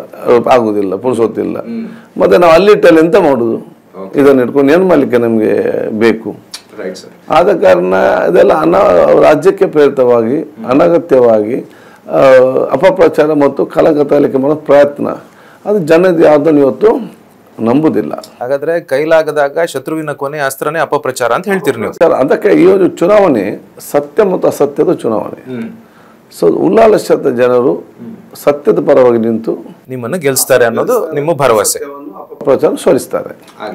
ಇನ್ನು ಬಿಜೆಪಿ ಅಂದರೆ ಅಂದ್ರೆ ನೀವು ತುಂಬ ಜನಸ್ನೇಹಿ ಜನಪ್ರತಿನಿಧಿ. ಅದು ಸೋಷಿಯಲ್ ಮೀಡಿಯಾ ಮತ್ತು ಈ ಥರ ಎಲ್ಲವೂ ನೋಡಿದರೆ ಗೊತ್ತಾಗುತ್ತೆ. ಒಂದು ಐದು ವರ್ಷ ನೀವು ಓಡಾಟ ಮಾಡುವಂಥದ್ದು ನಿಮ್ಮ ಸಣ್ಣ ಸಣ್ಣ ಕ್ಲಿಪ್ಪಿಂಗ್ಸ್ ರೀಲ್ಸ್ಗೆಲ್ಲ ನೋಡಿದರೆ ಎಲ್ಲರ ಜೊತೆಗೂ ನೀವು ಹೋಗ್ತೀರಾ? ಕ್ರಿಕೆಟ್ ಆಡ್ತೀರಾ ಮಕ್ಕಳ ಜೊತೆ? ಐಸ್ ಕ್ಯಾಂಡಿ ತಿಂತೀರಿ ಮಿಠಾಯಿ ತಿಂತೀರಿ ಪೆಪ್ಪರ್ಮಿಂಟ್ ತಿಂತೀರಿ ಎಲ್ಲರ ಜೊತೆಗೂ ಪ್ರೀತಿಯಿಂದ ಇರ್ತೀರಿ. ಆದರೆ ಒಂದು ಮತ್ತೊಂದು ದೊಡ್ಡ ಆರೋಪ ಅಂತಂದ್ರೆ ಬಿ ಜೆ ಪಿ ಅವರ ಪರವಾಗಿ ಯು ಟಿ ಖಾದರ್ ಅವರು ಜೋರಾಗಿ ಗಟ್ಟಿ ಧ್ವನಿಯಲ್ಲಿ ವಿರೋಧ ಮಾಡಲ್ಲ. ಯಾಕೆ ಅಂತಂದರೆ ಅವರಿಗೆ ಅವ್ರ ಜೊತೆ ಫ್ರೆಂಡ್ಶಿಪ್ ಇದೆ ಅವ್ರ ಜೊತೆ ಬಿಸ್ನೆಸ್ ಇದೆ. ಅದನ್ನು ಮ್ಯಾನೇಜ್ ಮಾಡ್ಕೊಂಡು ಬ್ಯಾಲೆನ್ಸ್ ಮಾಡ್ಕೊಂಡು ಹೋಗ್ತಾರೆ ಅವರು. ಈ ರೀತಿ ಕೆಲವು ಆರೋಪ ಮಾಡುವಾಗ ನಮಗೆ ನಗಟ್ಲಿಕ್ಕೆ ಬರ್ತದೆ. ಯಾಕಂದರೆ ಬಿ ಜೆ ಪಿಯವ್ರ ಜೊತೆ ನಮ್ಗೆ ಏನಾದ್ರು ಬಿಸ್ನೆಸ್ ನಮಗೆ ಬಿಸ್ನೆಸ್ಸೇ ಇಲ್ಲ. ಇನ್ನು ಬಿ ಜೆ ಪಿ ಜೊತೆ ಬಿಸ್ನೆಸ್ ಇದೆ ಅಂತೇಳಿ ಯಾರದು ನಮ್ಮೊಂದು ವಿಚಾರವ? ನಮಗೆ ಮಾಡಬೇಕಾದ್ರೆ ಬೇರೆ ಜನ ಸಿಕ್ಕೋದಿಲ್ವ? ಇವರಾಗಿ ನಾವು ಮಾಡುವಂಥ ಅಗತ್ಯತೆ ಏನಾದರೂ ಇದೆ? ಯಾರಾದರೂ ಪ್ರತಿಪಕ್ಷ ಜೊತೆಯಲ್ಲಿ ನಮ್ಮ ಕ್ಷೇತ್ರದಲ್ಲಿ ಪ್ರ- ಪ್ರಬಲವಾಗಿ ನಮಗೆ ಪ್ರತಿಸ್ಪರ್ಧಿ ಇರೋ ಜೊತೆಯಲ್ಲಿ ಮತ್ತು ಯಾವಾಗಲೂ ನಾವು ಪರಸ್ಪರ ಆರೋಪ ಟೀಕೆ ಮಾಡೋ ಜೊತೆಯಲ್ಲಿ ಯಾರಾದರೂ ಕೂಡ ಒಂದು ಬಿಸ್ನೆಸ್ ಮಾಡ್ತಾರೆ. ಆದರೆ ಫ್ರೆಂಡ್ಶಿಪ್ ಬೇರೆ ಮತ್ತು ರಾಜಕಾರಣನೇ ಬೇರೆ ಸರ್. ಅದನ್ನು ಬಹಳ ಸಲ ನೀವೆಲ್ಲ ಹೇಳ್ಕೊಂಡೇ ಬಂದಿದ್ದೀರಿ. ಫ್ರೆಂಡ್ಶಿಪ್ ಮಾನವೀಯತೆಯ ಒಂದು ಸೌಹಾರ್ದತೆಯ ಒಂದು ಮಿತ್ರತ್ವ ಬೇರೆ. ಮತ್ತು ರಾಜಕೀಯದ ಒಂದು ಪ್ರತಿಸ್ಪರ್ಧೆ ಬೇರೆ. ಇವತ್ತು ನಾವು ರಾಜಕಾರಣಿಗಳು ನಾವು ಪರಸ್ಪರ ಯಾವಾಗಲೂ ನಾವು ಕೋಪದಿಂದ ಗಲಾಟೆಯಿಂದ ಇದ್ದರೆ ನಮ್ಮ ಕೆಳಗಿರುವಂಥ ಕಾರ್ಯಕರ್ತರು ಕೂಡ ತಳಮಟ್ಟದಲ್ಲಿ ಅವರು ಕೂಡ ಕೋಪ ಮತ್ತು ಗಲಾಟೆಯಿಂದ ಇರ್ತಾರೆ. ನಾವು ನಾಯಕರು ಚೆನ್ನಾಗಿ ಒಂದು ವೇದಿಕೆಯಲ್ಲಿ ಬಿ ಜೆ ಪಿ ಕಾಂಗ್ರೆಸ್ ಇನ್ನಿತರ ಪಕ್ಷದವರು ಜೊತೆಗೆ ನಾವು ಮಾತಾಡಿದರೆ ತಳಮಟ್ಟದಲ್ಲಿರೂ ಕೂಡ ಕಾರ್ಯಕರ್ತರು ಒಂದಾಗ್ತಾರೆ. ಅವರು ಒಂದಾಗಿದ್ದಾರೆ ನಮ್ಗೇನಾಗಬೇಕು? ಸರ್ ನಿಮ್ಗಿರುವಂತ ಹೆಸರಿಗೆ ನಿಮ್ಗಿರುವಂತ ಕೀರ್ತಿಗೆ ನಿಮ್ಗಿರುವಂತ ಪಾವರ್ಗೆ ಕಾಂಗ್ರೆಸ್ ಪಕ್ಷ ಮತ್ತು ಜಾತ್ಯತೀತ ಸಿದ್ಧಾಂತವನ್ನ ಈ ದಕ್ಷಿಣ ಕನ್ನಡ ಮತ್ತು ಉಡುಪಿ ಅಂತಲೇ ಹೇಳೋಣ. ಈ ಅವಳಿ ಜಿಲ್ಲೆಗಳಲ್ಲಿ ಬಹಳ ದೊಡ್ಡ ಮಟ್ಟದಲ್ಲಿ ಇದನ್ನ ಪಕ್ಷವನ್ನು ನೀವು ಕಟ್ಬೋದಾಗಿತ್ತು. ಆದರೆ ಖಾದರ್ ಅವರು ಅದನ್ನ ಮಾಡಿಲ್ಲ. ಅವರಿಗೆ ವೈಯಕ್ತಿಕ ಇಮೇಜ್ ಬಿಲ್ಡಪ್ಪೇ ಬಹಳ ಮುಖ್ಯ ಆಗಿರ್ತದೆ ಅಂತ ಜನ ಹೇಳ್ತಾರೆ. ಹೌದು. ಇನ್ನೂ ಕೂಡ ದೀರ್ಘವಾದ ರಾಜ್ಯಕ್ಕೆ ಇದೆ. ಈಗ ನಾವು ಬಲ ಯಾಕಂತ ಹೇಳಿದರೆ ನಮ್ಮ ಜಿಲ್ಲೆಯಲ್ಲಿ ನಾನು ಅತ್ಯ ಕಿರಿಯವನಾಗಿದ್ದೇನೆ. ಭಾಳ ಎಲ್ಲ ಕ್ಷೇತ್ರಗಳು ಹಿರಿಯರೇ ಇದ್ದಾರೆ. ನನಗಿಂತ ಕಿರಿಯರಲ್ಲಿ ಕೂಡ ಇವತ್ತು ಇಲ್ಲ. ನಾನು ಯಾವುದೇ ಕ್ಷೇತ್ರಕ್ಕೆ ನಾವು ಅಲ್ಲಿ ಹೋಗಿ ಪಕ್ಷದ ಸಂಘಟನೆ, ಪಕ್ಷದ ಸಿದ್ಧಾಂತ, ಇನ್ನಿತರ ವಿಚಾರಗಳನ್ನು ಬಹುಶಃ ಅವರು ಒಪ್ಪಿಗೆ ಮೇಲೆ ಮಾಡಬೇಕು ಹೊರತು ನಾನ್ಯಾಕೆ ಏಕೈಕ ಹೋಗಲಿಕ್ಕೆ ಆಗುವುದಿಲ್ಲ ನಮ್ಮ ಏನೆಲ್ಲ ಅಭಿಪ್ರಾಯ ಇದೆಯಾ ಏನೆಲ್ಲ ವಿಚಾರ ಇದೆಯಾ ಅದು ನಾವೆಲ್ಲವೂ ಕೂಡ ಪಕ್ಷ ಭೇದಿಗಳನ್ನು ತೀರ್ಮಾನ ಮಾಡಿದ್ದೇವೆ ಚರ್ಚೆ ಮಾಡಿದ್ದೇವೆ. ಅದು ಅಲ್ಲಲ್ಲಿ ಅನುಷ್ಠಾನ ಮಾಡಿಕೊಳ್ಳುವಂಥ ಕೆಲಸ ಇವತ್ತು ಎಲ್ಲ ನಾಯಕರು ಇವತ್ತು ಮಾಡಬೇಕಾಗ್ತದೆ. ನಾವು ನಾವೇ ಹೋಗಿ ಮುಂದೆ ನಿಂತು ಇಡೀ ಜಿಲ್ಲೆಯನ್ನು ನಾವು ಕಂಟ್ರೋಲ್ಗೆ ತಗೊಂಡು ನಮ್ಮ ಒಂದು ಇಚ್ಛೆ ಒಂದು ಇದನ್ನು ಈ ರೀತಿಯೇ ಮಾಡಬೇಕೆಂಬ ಆ ಸಿದ್ಧಾಂತವನ್ನು ಕಟ್ಕೊಂಡು ಹೋಗಲಿಕ್ಕೆ ಇನ್ನು ಕೂಡ ಹತ್ತು ವರ್ಷ ಐದು ವರ್ಷ ಬೇಕಾಗ್ತದೆ ನಾಯಕತ್ವ ಕೊಡಲಿಕ್ಕೆ. ಬಟ್ ಅದು ಮಾಡೋ ಆಸೆ ನಿಮಗಿದೆ? ಖಂಡಿತವಾಗಿದೆ. ಯಾಕಂತ ಹೇಳಿದರೆ ನಾನು ಹೇಳಿದೆ ಅಲ್ಲ ಆ ಒಂದು ಸ್ಥಾನಕ್ಕೆ ಬಂದಾಗ ಆ ಒಂದು ಮೆಚುರಿಟಿ ಪ್ರಬುದ್ಧತೆ ಬಂದಾಗ ಮಾತ್ರ ಮಾಡಬೇಕಾಗ್ತದೆ. ಈಗ ನಾವು ನೋಡಿ ಎಂ ಎಲ್ ಎ ಆದ ತಕ್ಷಣ ಅವನು ದೊಡ್ಡ ನಾಯಕನಲ್ಲ. ಮಂತ್ರಿ ಆದ ತಕ್ಷಣ ಒಬ್ಬ ದೊಡ್ಡ ನಾಯಕನಲ್ಲ. ಸರ್ ಈ ಮೀನುಗಾರರಿಗೆ ಈಗಿನ ಸರ್ಕಾರ ಏನು ಮಾಡಲಿಲ್ಲ ಅಂತ ಪದೇ ಪದೇ ನೀವು ಟೀಕೆ ಮಾಡ್ತೀರಿ. ಇದ್ರ ಹಿಂದಿನ ಮರ್ಮ ಏನು ಪೊಲಿಟಿಕಲ್ ಎಜೆಂಡಾನ ಖಂಡಿತ ಪೊಲಿಟಿಕಲ್ ಅಜೆಂಡಲ್ಲ ಅಲ್ಲ. ಕರಾವಳಿ ಪ್ರದೇಶದ ಬಹುತೇಕ ಜನರು ಇದು ಮೀನುಗಾರಿಕೆ ವೃತ್ತಿಯಲ್ಲಿರುವುದು. ಇದು ನಮ್ಮ ಹೃದಯ ನಮ್ಮ ದಕ್ಷಿಣ ಕನ್ನಡ ಜಿಲ್ಲೆಯ ವ್ಯಾಪಾರದೊಂದು ಹೃದಯ ಅಂತ ಹೇಳಿದ್ರೆ ಅದು ಮೀನುಗಾರಿಕೆ. ಮೀನುಗಾರಿಕೆ ಅಂತೇಳಿ ಬರೀ ಮೀನು ಬೋಟ್ ಇದ್ದವನು ಮಾತ್ರ ಮೀನುಗಾರ ಅಲ್ಲ. ಬೋಟಲ್ಲಿ ಕೆಲಸಕ್ಕೆ ಹೋಗೋನು ಕೂಡ ಮೀನುಗಾರ. ಬೋಟ್ ಮಾಲೀಕನು ಮೀನುಗಾರ. ಬೋಟಿಗೆ ಹಾಕುವ ಡೀಸೆಲ್ ಹಾಕುವ ಪೆಟ್ರೋಲ್ ಪಂಪಿನಲ್ಲೂ ಕೂಡ ಮೀನುಗಾರ. ಬೋಟಿಗೆ ತಗೊಂಡು ಬಂದು ಬಹುಶಃ ಬೋಟನ್ನು ಅನ್ಲೋಡ್ ಮಾಡೋನು ಕೂಡ ಮೀನುಗಾರ. ಅದಕ್ಕೆ ಐಸು ಸಪ್ಲೈನ್ ಮಾಡೋರು ಕೂಡ ಮೀನುಗಾರಿಕೆ ವೃತ್ತಿ. ಅಲ್ಲಿಂದ ಕಮಿಷನ್ ಏಜೆಂಟು ಕೂಡ ಮೀನುಗಾರ, ಮಾರುವವನು ಕೂಡ ಮೀನುಗಾರರು. ಅದಕ್ಕೆ ಬೇಕಾಗುವ ಎಕ್ವಿಪ್ಮೆಂಟ್ ತಗೊಂಡು ಮೀನುಗಾರರು. ದೊಡ್ಡ ಮಟ್ಟದ ವೃತ್ತಿ ಇದೆ ಒಂದು ಇದರಲ್ಲಿ, ಆ ಒಂದು ಮೀನುಗಾರಿಕೆ ಇದಕ್ಕೆ ಸಂಬಂಧಪಟ್ಟ ಹಾಗೆ ಆದರೆ ಇವತ್ತು ಬಿ ಜೆ ಪಿ ಸರ್ಕಾರ ಬಂದ ನಂತರ ಮೀನುಗಾರನ್ನು ಸಂಪೂರ್ಣವಾಗಿ ಮೋಸ ಮಾಡಿದ್ದಾರೆ. ಭಾವನಾತ್ಮಕದ ವಿಚಾರ ಇಟ್ಟುಕೊಂಡು ಅವರು ಮತ ಪಡೆದದಲ್ಲದೆ ಒಂದೇ ಒಂದು ನ್ಯಾಯ ಕೊಡುವಂಥ ಕೆಲಸ ಮೀನುಗಾರಿಗೆ ಮಾಡಲಿಲ್ಲ. ಯಾಕಂತ ಹೇಳಿದರೆ ಮೀನುಗಾರರಿಗೆ ಒಂದೇ ನಾವು ಇವತ್ತು ಮತ್ಸ್ಯ ಯೋಜನೆ ಅಂತ ಹೇಳಿ ಮನೆ ಕೊಡ್ತಾಯಿದ್ರು ಒಂದೇ ಒಂದು ಮನೆ ಇವತ್ತು ಈ ಸರ್ಕಾರ ಬಿಡುಗಡೆ ಮಾಡಲಿಲ್ಲ. ಎರಡನೇದು, ನಾವು ಮೀನುಗಾರ ಪ್ರದೇಶಕ್ಕೆ ಇರುವಂಥ ಕೊಂಡಿ ರಸ್ತೆಗಳಂತ ಒಂದು ಅನುದಾನ ಬಿಡುಗಡೆ ಮಾಡ್ತಾಯಿದ್ರು ಆ ಮೀನುಗಾರಿಕೆ ಹೋಗುವ ರಸ್ತೆಗಳು ಸರಿ ಇರುವುದಿಲ್ಲ. ಅಥವಾ ಯಾಕೆಂದರೆ ಅದು ಮನೆಗೆಲ್ಲಿಂದ ತುಂಬ ಇವತ್ತು ನದಿವರೆಗೆ ಹೋಗಬೇಕು ಅಥವಾ ಸಮುದ್ರದ ಹೋಗಬೇಕು. ಆ ಕೊಂಡಿ ರಸ್ತೆಗೆ ಅನುದಾನವನ್ನು ಕೂಡ ಬಿಡುಗಡೆ ಮಾಡಲಿಲ್ಲ. ಮೀನುಗಾರಿಕೆ ನಾವು ಸೀಮೆಣ್ಣೆ ಡೀಸೆಲ್ ಕೊಡ್ತಿದ್ದೆವು, ಸಣ್ಣ ಸಣ್ಣ ಬೋಟಿಗೆ. ಎಂಟು ತಿಂಗಳಾಯಿತು ಸೀಮೆಣ್ಣೆ ಇವತ್ತು ಮೀನುಗಾರಿಗೆ ಕೊಡದೆ. ಡೀಸೆಲ್ ಸಬ್ಸಿಡಿ ಇತ್ತು. ಸಮರ್ಪದ ಡೀಸೆಲ್ ಸಬ್ಸಿಡಿ ಕೂಡ ಸರಿಯಾದ ಸಣ್ಣ ಟೈಮ್ನಲ್ಲಿ ಮುಟ್ಟುವುದಿಲ್ಲ ಹಿಂದೆ ನಾವು ಸಣ್ಣ ಸಣ್ಣ ಬೋಟುಗಳಿಗೆ ಸಬ್ಸಿಡಿ ಇತ್ತು. ಒಂದು ಹೆಂಗಸರು ಸಣ್ಣ ಬೋಟ್ ತೆಗೆಯೋದಾದರೆ ಅವ್ರಿಗೆ ಸಿಕ್ಸ್ಟಿ ಪರ್ಸೆಂಟ್ ಒಂದು ಬೋಟಿದು ಕಾಸ್ಟ್ ಸಬ್ಸಿಡಿ. ಗಂಡಸರಿಗೆ ತೆಗೆದಾದರೆ ಫಾರ್ಟಿ ಪರ್ಸೆಂಟ್. ಈಗ ಸಣ್ಣ ಬೋಟಿದ್ದು ತೆಗೆದು ಇವರು ದೊಡ್ಡ ಒಂದು ಕೋಟಿಗಿಂತ ಜಾಸ್ತಿ ಯಾರು ದೊಡ್ಡ ಬೋಟ್ ಟ್ರಾಲ್ ಬೋಟ್ ಇದೆ, ಅವರಿಗೆ ಇವರು ಸಬ್ಸಿಡಿ ಕೊಡೋದು. ಇದು ತೆಗೆದು. ಅರ್ಥ ಏನು? ಶ್ರೀಮಂತರೇ ಮೀನುಗಾರಿಕೆ ಮಾಡಬೇಕು ಹೊರತು ಮೀನು ಹಿಡಿಯೋನು ಹೋಗಿ ಮೀನುಗಾರಿಕೆ ಮಾಡಲಿಕ್ಕೆ ಸಾಧ್ಯ ಇಲ್ಲ. ಆದರೆ ಎಲ್ಲ ರೀತಿಯಿಂದಲೂ ಕೂಡ ಜನ ಮೋಸ ಮಾಡಿದಲ್ಲದೆ ಜನರಿಗೆ ಪ್ರಯೋಜನ ಆಗುವಂಥ ಒಂದೇ ಒಂದು ಕೆಲಸ ಕೂಡ ಇವತ್ತು ಮಾಡೋದ ಪರಿಸ್ಥಿತಿಯಲ್ಲಿ ಬಿ ಸರ್ಕಾರ ಮಾಡಲಿಲ್ಲ. ಅದನ್ನು ನಾವು ಪದೇ ಪದೇ ನಾವು ಪದೇ ಪದೇ ಅದನ್ನೇ ನಾವು ಇವತ್ತು ಅಸೆಂಬ್ಲಿಯಲ್ಲಿ ನಾವು ಪ್ರಸ್ತಾವನೆ ಮಾಡ್ತಾ ಇರೋದು ನೀವು ಮೀನುಗಾರಿಕೆ ಇವತ್ತು ಮೋಸ ಮಾಡಿದ್ದಾರೆ ಅಂತ ಹೇಳಿ ಈಗಲೂ ಕೂಡ ಮೀ- ಮೀನುಗಾರಿಕೆ ಇವತ್ತು ಮೋಸ ಮಾಡಿದ್ದಾರೆ. ಅವ್ರ ಪಾಪ ಮುಗ್ಧ ಜನರು. ಅವನು ಧರ್ಮದ ವಿಚಾರ ಧಾರ್ಮಿಕ ವಿಚಾರ ಇಟ್ಕೊಂಡು ಬಹುಶಃ ಇವತ್ತು ಮೋಸ ಮಾಡಿದ್ದಾರೆ. ಮತ್ತು ಮೀನುಗಾರಿಕೆಯಲ್ಲಿ ಬರೀ ಒಂದು ವರ್ಗ ಮಗುವರು ಮಾತ್ರ ಅಲ್ಲ ಮೀನುಗಾರರಲ್ಲಿ ಎಲ್ಲರೂ ಕೂಡ ಇದ್ದಾರೆ. ಮೊಗವೀರೋ ಇದ್ದಾರೆ. ಕಾವ್ಯವರು ಇದ್ದಾರೆ ಮುಸ್ಲಿಮ್ಸ್ ಇದ್ದಾರೆ ಕ್ರಿಶ್ಚಿಯನ್ಸ್ ಇದ್ದಾರೆ. ಎಲ್ಲ ಜಾತಿಯವರು ಮೀನು ತಿನ್ನದವರು ಕೂಡ ಬೋಟ್ ಮಾಲೀಕನಾಗಿದ್ದಾನೆ ಅವನು ವ್ಯಾಪಾರ. ವ್ಯಾಪಾರದವರಿಗೆ ಆ ಜಾತಿ ಅಂತ ಲೆಕ್ಕ ಇಲ್ಲ. ಅದು ಅವನು ವ್ಯಾಪಾರ ಒಂದು ಮಾಡುವಂಥದ್ದು. ಈ ಮೀನುಗಾರಿಕೆ ವೃತ್ತಿಯಿಂದ ಅಂತ ಜನಸಾಮಾನ್ಯ ಏನಿದೆಯಾ ಅವರಿಗೆ ಬಿ ಜೆ ಪಿ ಸರ್ಕಾರದಿಂದ ಒಂದು ನಯ ಪೈಸೆ ಪ್ರಯೋಜನ ಕೂಡ ಇವತ್ತು ಆಗಲಿಲ್ಲ. ಅವ್ರಿಗೆ ಏನಾದರೂ ಪ್ರಯೋಜನ ಆಗಿದ್ದಲ್ಲಿ ಅದು ಕಾಂಗ್ರೆಸ್ ಸರ್ಕಾರ ಇದ್ದಾಗ ಮಾತ್ರ ಆಗಿದೆ ಅಂತ ಹೇಳಲಿಕ್ಕೆ ನಾನು ಇವತ್ತು ಬಯಸುವಂಥದ್ದು. ಸರ್, ಈಗ ನಿಮ್ಮ ಸರ್ಕಾರ ಇದ್ದಾಗ ಕೆಲವು ಸ್ಕೀಮ್ಸ್ಗಳನ್ನೆಲ್ಲ ತಂದು ಸ್ಕೀಮ್ಸು ಮತ್ತು ಕೆಲವು ಯೋಜನೆಗಳು ಅಂತಂದರೆ ಶಾದಿ ಭಾಗ್ಯ ಆಗಿರ್ಬೋದು ಸ್ಕಾಲರ್ಶಿಪ್ ಆಗಿರ್ಬೋದು, ಮತ್ತು ಇಂದಿರಾ ಕ್ಯಾಂಟೀನ್ ಇದೆಲ್ಲವನ್ನು ಕೂಡ ಈಗ ನಿಲ್ಲಿಸಿದ್ದಾರೆ ಇದ್ರ ಬಗ್ಗೆ ಜನ ಮಾತನಾಡ್ತಿರೋದು ಕೂಡ ನಿಮ್ಮ ಗಮನಕ್ಕೆ ಬಂದಿರ್ಬೋದು. ಮತ್ತೆ ವಾಪಸ್ ನೀವು ಎಲೆಕ್ಟ್ ಆಗಿ ಬಂದರೆ ಇದನ್ನೆಲ್ಲ ನೀವು ತರ್ತೀರಾ? ಒಂದು. ಇನ್ನೊಂದು ಮೈನಾರಿಟಿ ಕಮ್ಯುನಿಟಿಗೆ ನೀವು ವೈಯಕ್ತಿಕವಾಗಿ ಖಾದರ್ ಅವರು ತಂದಂಥ ಯೋಜನೆಗಳು ಏನೇನು? ಇವತ್ತು ನಮ್ಮ ಸರ್ಕಾರ ಬಂದಾಗ ಎಲ್ಲ ಜಾತಿ, ಎಲ್ಲ ಮತ್ತು ಎಲ್ಲ ವರ್ಗದವರಿಗೂ ಬೇರೆ ಬೇರೆ ಕಾರ್ಯಕ್ರಮ ಇವತ್ತು ಕೊಟ್ಟಿದೆ. ಮೈನಾರಿಟಿ ಅಲ್ಪಸಂಖ್ಯಾತರಿಗೆ, ಹಿಂದುಳಿದ ವರ್ಗದವರಿಗೆ ಬಡವರಿಗೆಲ್ಲರೂ ಕೂಡ. ಇವತ್ತು ಇಂದಿರಾ ಕ್ಯಾಂಟೀನ್. ನಾನೇ ಆಹಾರ ಸಚಿವನಾಗಿದ್ದೆ ನಾನು ಅದನ್ನು ಹೋಗಿ ಸ್ಟಡಿ ಮಾಡಿಕೊಂಡು ನಾನೇ ಪ್ರಪೋಸಲ್ ಅದು ಕೊಟ್ಟಿದ್ದೆ. ಇಡೀ ಆ್ಯಕ್ಷನ್ ಪ್ಲ್ಯಾನಲ್ಲಿ ಜಾರ್ಜ್ ಕೆ ಜೆ ಜಾರ್ಜ್ ಅವರು, ಅಧ್ಯಕ್ಷ ನಾನು ಮತ್ತು ನಮ್ಮ ಮೇಯರ್ ಅವರು ಮೂರು ಜನ ಕಮಿಟಿ ಮೆಂಬರ್ ಎಂಟೈರ್ ತೀರ್ಮಾನ ನಾವು ತಗೊಂಡದ್ದು ದೊಡ್ಡ ಮಟ್ಟದೊಂದು ಯೋಜನೆ ದೀರ್ಘವಾಗಿ ನಾನು ಹೇಳಬೇಕಾದ್ರೆ. ಯಾಕಂತ ಹೇಳಿದರೆ, ಇವತ್ತು ನೋಡಿ ಗ್ರಾಮೀಣ ಮಟ್ಟದಿಂದ ಶಾಲೆಗೆ ಕಾಲೇಜಿಗೆ ವಿದ್ಯಾರ್ಥಿ ಬರ್ತಾರೆ, ವಿದ್ಯಾರ್ಥಿ, ವಿದ್ಯಾರ್ಥಿನಿಯರು. ಮಂಗಳೂರು ಗೌರ್ಮೆಂಟ್ ಕಾಲೇಜಿಗೆ ಉದಾಹರಣೆಗೆ. ಬರುವವರೆಲ್ಲ ಬಡವರ ಮಕ್ಕಳು ಜಾಸ್ತಿ. ಮಾರ್ಕ್ ಪಡೆದಿರ್ತಾರೆ. ಅನುಕೂಲ ಕಡ್- ಕಡಿಮೆ ಇರ್ತದೆ. ಗ್ರಾಮೀಣ ಮಟ್ಟದ ಬರುವಾಗ ಅವ್ರು ಒಂದು ಗಂಜಿ ಊಟ ಮಾಡಿ ಆರು ಗಂಟೆಗೆ ಹೊರಟ್ರೆ ಮತ್ತೆ ಊಟ ಮಾಡುವ ಸಂಜೆ ಮನೆಗೆ ಹೋದ ನಂತರ ಮಧ್ಯಾಹ್ನ ಊಟ ಮಾಡಲಿಕ್ಕೆ ಹೋದ್ರೆ ದುಡ್ಡು ಇರುವುದಿಲ್ಲ. ಕೂಲಿ ಕಾರ್ಮಿಕರು, ರಿಕ್ಷಾ ಚಾಲಕರು ಮಾರ್ಕೆಟ್ಗೆ ಹೋಗೋರೆಲ್ಲ ಕೂಡ ಮನೇಲೊಂದು ಗಂಜಿ ಊಟ ಮಾಡಿದರೆ ಮತ್ತೆ ಕೆಲಸ ಆದ ನಂತರ ಹೋಗಿ ಊಟ ಮಾಡೋದು. ಕ್ಯಾಂಟೀನ್ಗೆ ನೂರು ರೂಪಾಯಿ ಕೊಡ್ಲಿಕ್ಕೆ ಅವ್ರ ಹತ್ರ ಇಲ್ಲ. ಅಂಥವರು ಹಸಿದ ಹೊಟ್ಟೆಯಲ್ಲಿ ಯಾರು ಕೂಡ ಕಲಿಬಾರ್ದು ಹಸಿದ ಹೊಟ್ಟೆಲಿ ದುಡಿಬಾರ್ದು ಅಂತೇಳಿ ನಾವು ಇಂದಿರಾ ಕ್ಯಾಂಟೀನ್ ತಂದರೆ ಇವರು ಅದನ್ನು ಮುಚ್ತಾರೆ ಶಾದಿ ಭಾಗ್ಯ ಯೋಜನೆ ಒಂದು ಕಡು ಬಡವರು ಕೂಡ ಒಂದು ಗೌರವಪೂರ್ವಕವಾಗಿ ಆ ಮಗನ ಮಗಳ ಮದುವೆ ಮಾಡಿಕೊಂಡು ಹೋಗಲಿಕ್ಕೆ ಸ್ವಲ್ಪ ಸಹಾಯ ಕೊಡಬೇಕಂತ ಪ್ಲ್ಯಾನ್ ಮಾಡಿದರೆ ಅದನ್ನು ಇವರು ಬಂದ್ ಮಾಡ್ತಾರೆ. ಅದೇ ರೀತಿ ಬೇರೆ ಬೇರೆ ಎಲ್ಲ ಅಲ್ಲಿ ಸ್ಕಾಲರ್ಶಿಪ್ ಬಂದಾಗ್ತದೆ. ಹಾಲಿನ ಸಬ್ಸಿಡಿ ಬಂದು ಇವತ್ತು ರೈತರಿಗೆ. ಐದು ರೂಪಾಯಿ ಸಬ್ಸಿಡಿ ಕೊಡ್ತಾಯಿದ್ದ ಹಾಲು. ಅದನ್ನು ಇವತ್ತು ಬಂದ್ ಮಾಡಿದ್ದಾರೆ. ಸಬ್ಸಿಡಿ ಬಂದಾದ ಕಾರಣ ಹಾಲು ಉತ್ಪಾದನೆ ಕಡಿಮೆ ಆಗಿದೆ. ಹಾಲು ಉತ್ಪಾದನೆ ಕಡಿಮೆ ಆಗಿದೆ ಅಂತೇಳಿ ಉತ್ತರ ಕರ್ನಾಟಕದಲ್ಲಿ ಮಕ್ಕಳಿಗೆ ಕೊಡುವಂಥ ಹಾಲನ್ನೇ ಶಿರಭಾಗ್ಯನ್ನೇ ಕ್ಯಾನ್ಸಲ್ ಮಾಡಿದ್ದಾರೆ. ಇದೆಲ್ಲ ಕೂಡ ಜನರಿಗೇನು ಸಂಪೂರ್ಣ ಮೋಸ ಮಾಡೋದು ಇವತ್ತು ವಿಚಾರ ಇವತ್ತು ಆಗಿದೆ. ಆದರೆ ಕಾಂಗ್ರೆಸ್ ಅಧಿಕಾರಕ್ಕೆ ಬಂದರೆ ನಾವು ಇದ್ದಂಥ ಎಲ್ಲ ಯೋಜನೆಗಳು ಏನು ಜನಪರ ಯೋಜನೆಗಳು ಪ್ರಯೋಜನ ಆಗುವಂಥದ್ದು ಇದೆಯಾ ಅದನ್ನು ಮತ್ತೆ ನಾವು ಜಾರಿಗೆ ನಾವು ಖಂಡಿತವಾಗಿ ನಾವು ಇವತ್ತು ತರ್ತೇವೆ. ಅದರ ಜೊತೆಯಲ್ಲಿ ನಾವು ನಾಲ್ಕು ಗ್ಯಾರಂಟಿ ಕೊಡ್ತಾ ಇದ್ದೇವೆ. ಒಂದು ಇವತ್ತು ಎಲೆಕ್ಟ್ರಿಕ್ ಫ್ರೀ ಎಲೆಕ್ಟ್ರಿಕ್. ಇನ್ನೂರು ಯೂನಿಟ್. ಇನ್ನೂರು ಯೂನಿಟ್ ಅಂತ ಹೇಳಿದರೆ ಸಾಧಾರಣ ನೈಂಟಿ ಫೈವ್ ಪರ್ಸೆಂಟ್ ಜನ ಸಾಮಾನ್ಯರು ಕರೆಂಟ್ ಉಪಯೋಗವಾಗುವುದೇ ಇನ್ನೂರು ಯೂನಿಟ್ನ ಒಳಗಡೆ. ಅಂದರೆ ತಿಂಗಳಿಗೆ ಒಂದು ಸಾವಿರದ ಎಂಟುನೂರು ರೂಪಾಯಿ ಬಿಲ್ ಬರುವ ತನಕ. ಅದಕ್ಕಿಂತ ಜಾಸ್ತಿ ಬರೋದಿದ್ದರೆ ಅಂದರೆ ಶ್ರೀಮಂತರದು. ಮೂರು ಮೂರು ಎ ಸಿ ಎರಡು ಎ ಸಿ ಹಾಕಿದವರಿಗೆ ಮಾತ್ರ ಜಾಸ್ತಿ ಬರ್ತದೆ. ಅದಕ್ಕಿಂತ ಕಡಿಮೆ ಹಾಕಿದವ್ರಿಗೆ ಏನು ಕೊಡಿ ಇವತ್ತು? ಆ ವ್ಯಾಪ್ತಿಯಲ್ಲೇ ಬರುವಂಥದ್ದು.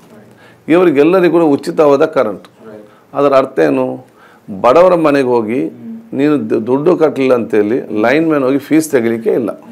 ಅದು ಬಂದಾಯಿತು. ಕರ್ನಾಟಕದ್ದು ಕಾಂಗ್ರೆಸ್ ಇವತ್ತು ಬಂದ್ ಮಾಡ್ತದೆ. ಎರಡನೇ ಯೋಜನೆ ಏನು? ಪ್ರತಿಯೊಂದು ಮಹಿಳೆಯರಿಗೆ ಎರಡು ಸಾವಿರ ರೂಪಾಯಿಯ ಇವತ್ತು ನಾವು ಅವ್ರ ನೇರ ಅಕೌಂಟಿಗೆ ಹಾಕೋದು ಯಾಕೆ? ಗಂಡಸರ ಮನೆಯಲ್ಲಿ ಎಂದ ತಾಯಂದಿರ ಕೈಗೆ ತಿಂಗಳಿಗೆ ಇಷ್ಟು ದುಡ್ಡು ಕೊಟ್ಟು ಸುಧಾರಿಸು ಅಂತ ಹೇಳ್ತಾರೆ. ಮತ್ತೆ ಬರುವಂಥ ಎಲ್ಲ ವಿಚಾರಗಳನ್ನು ಇವರು ತಾಯಂದಿರು ಬ್ಯಾಲೆನ್ಸ್ ಮಾಡಿಕೊಂಡು ಹೋಗಬೇಕು.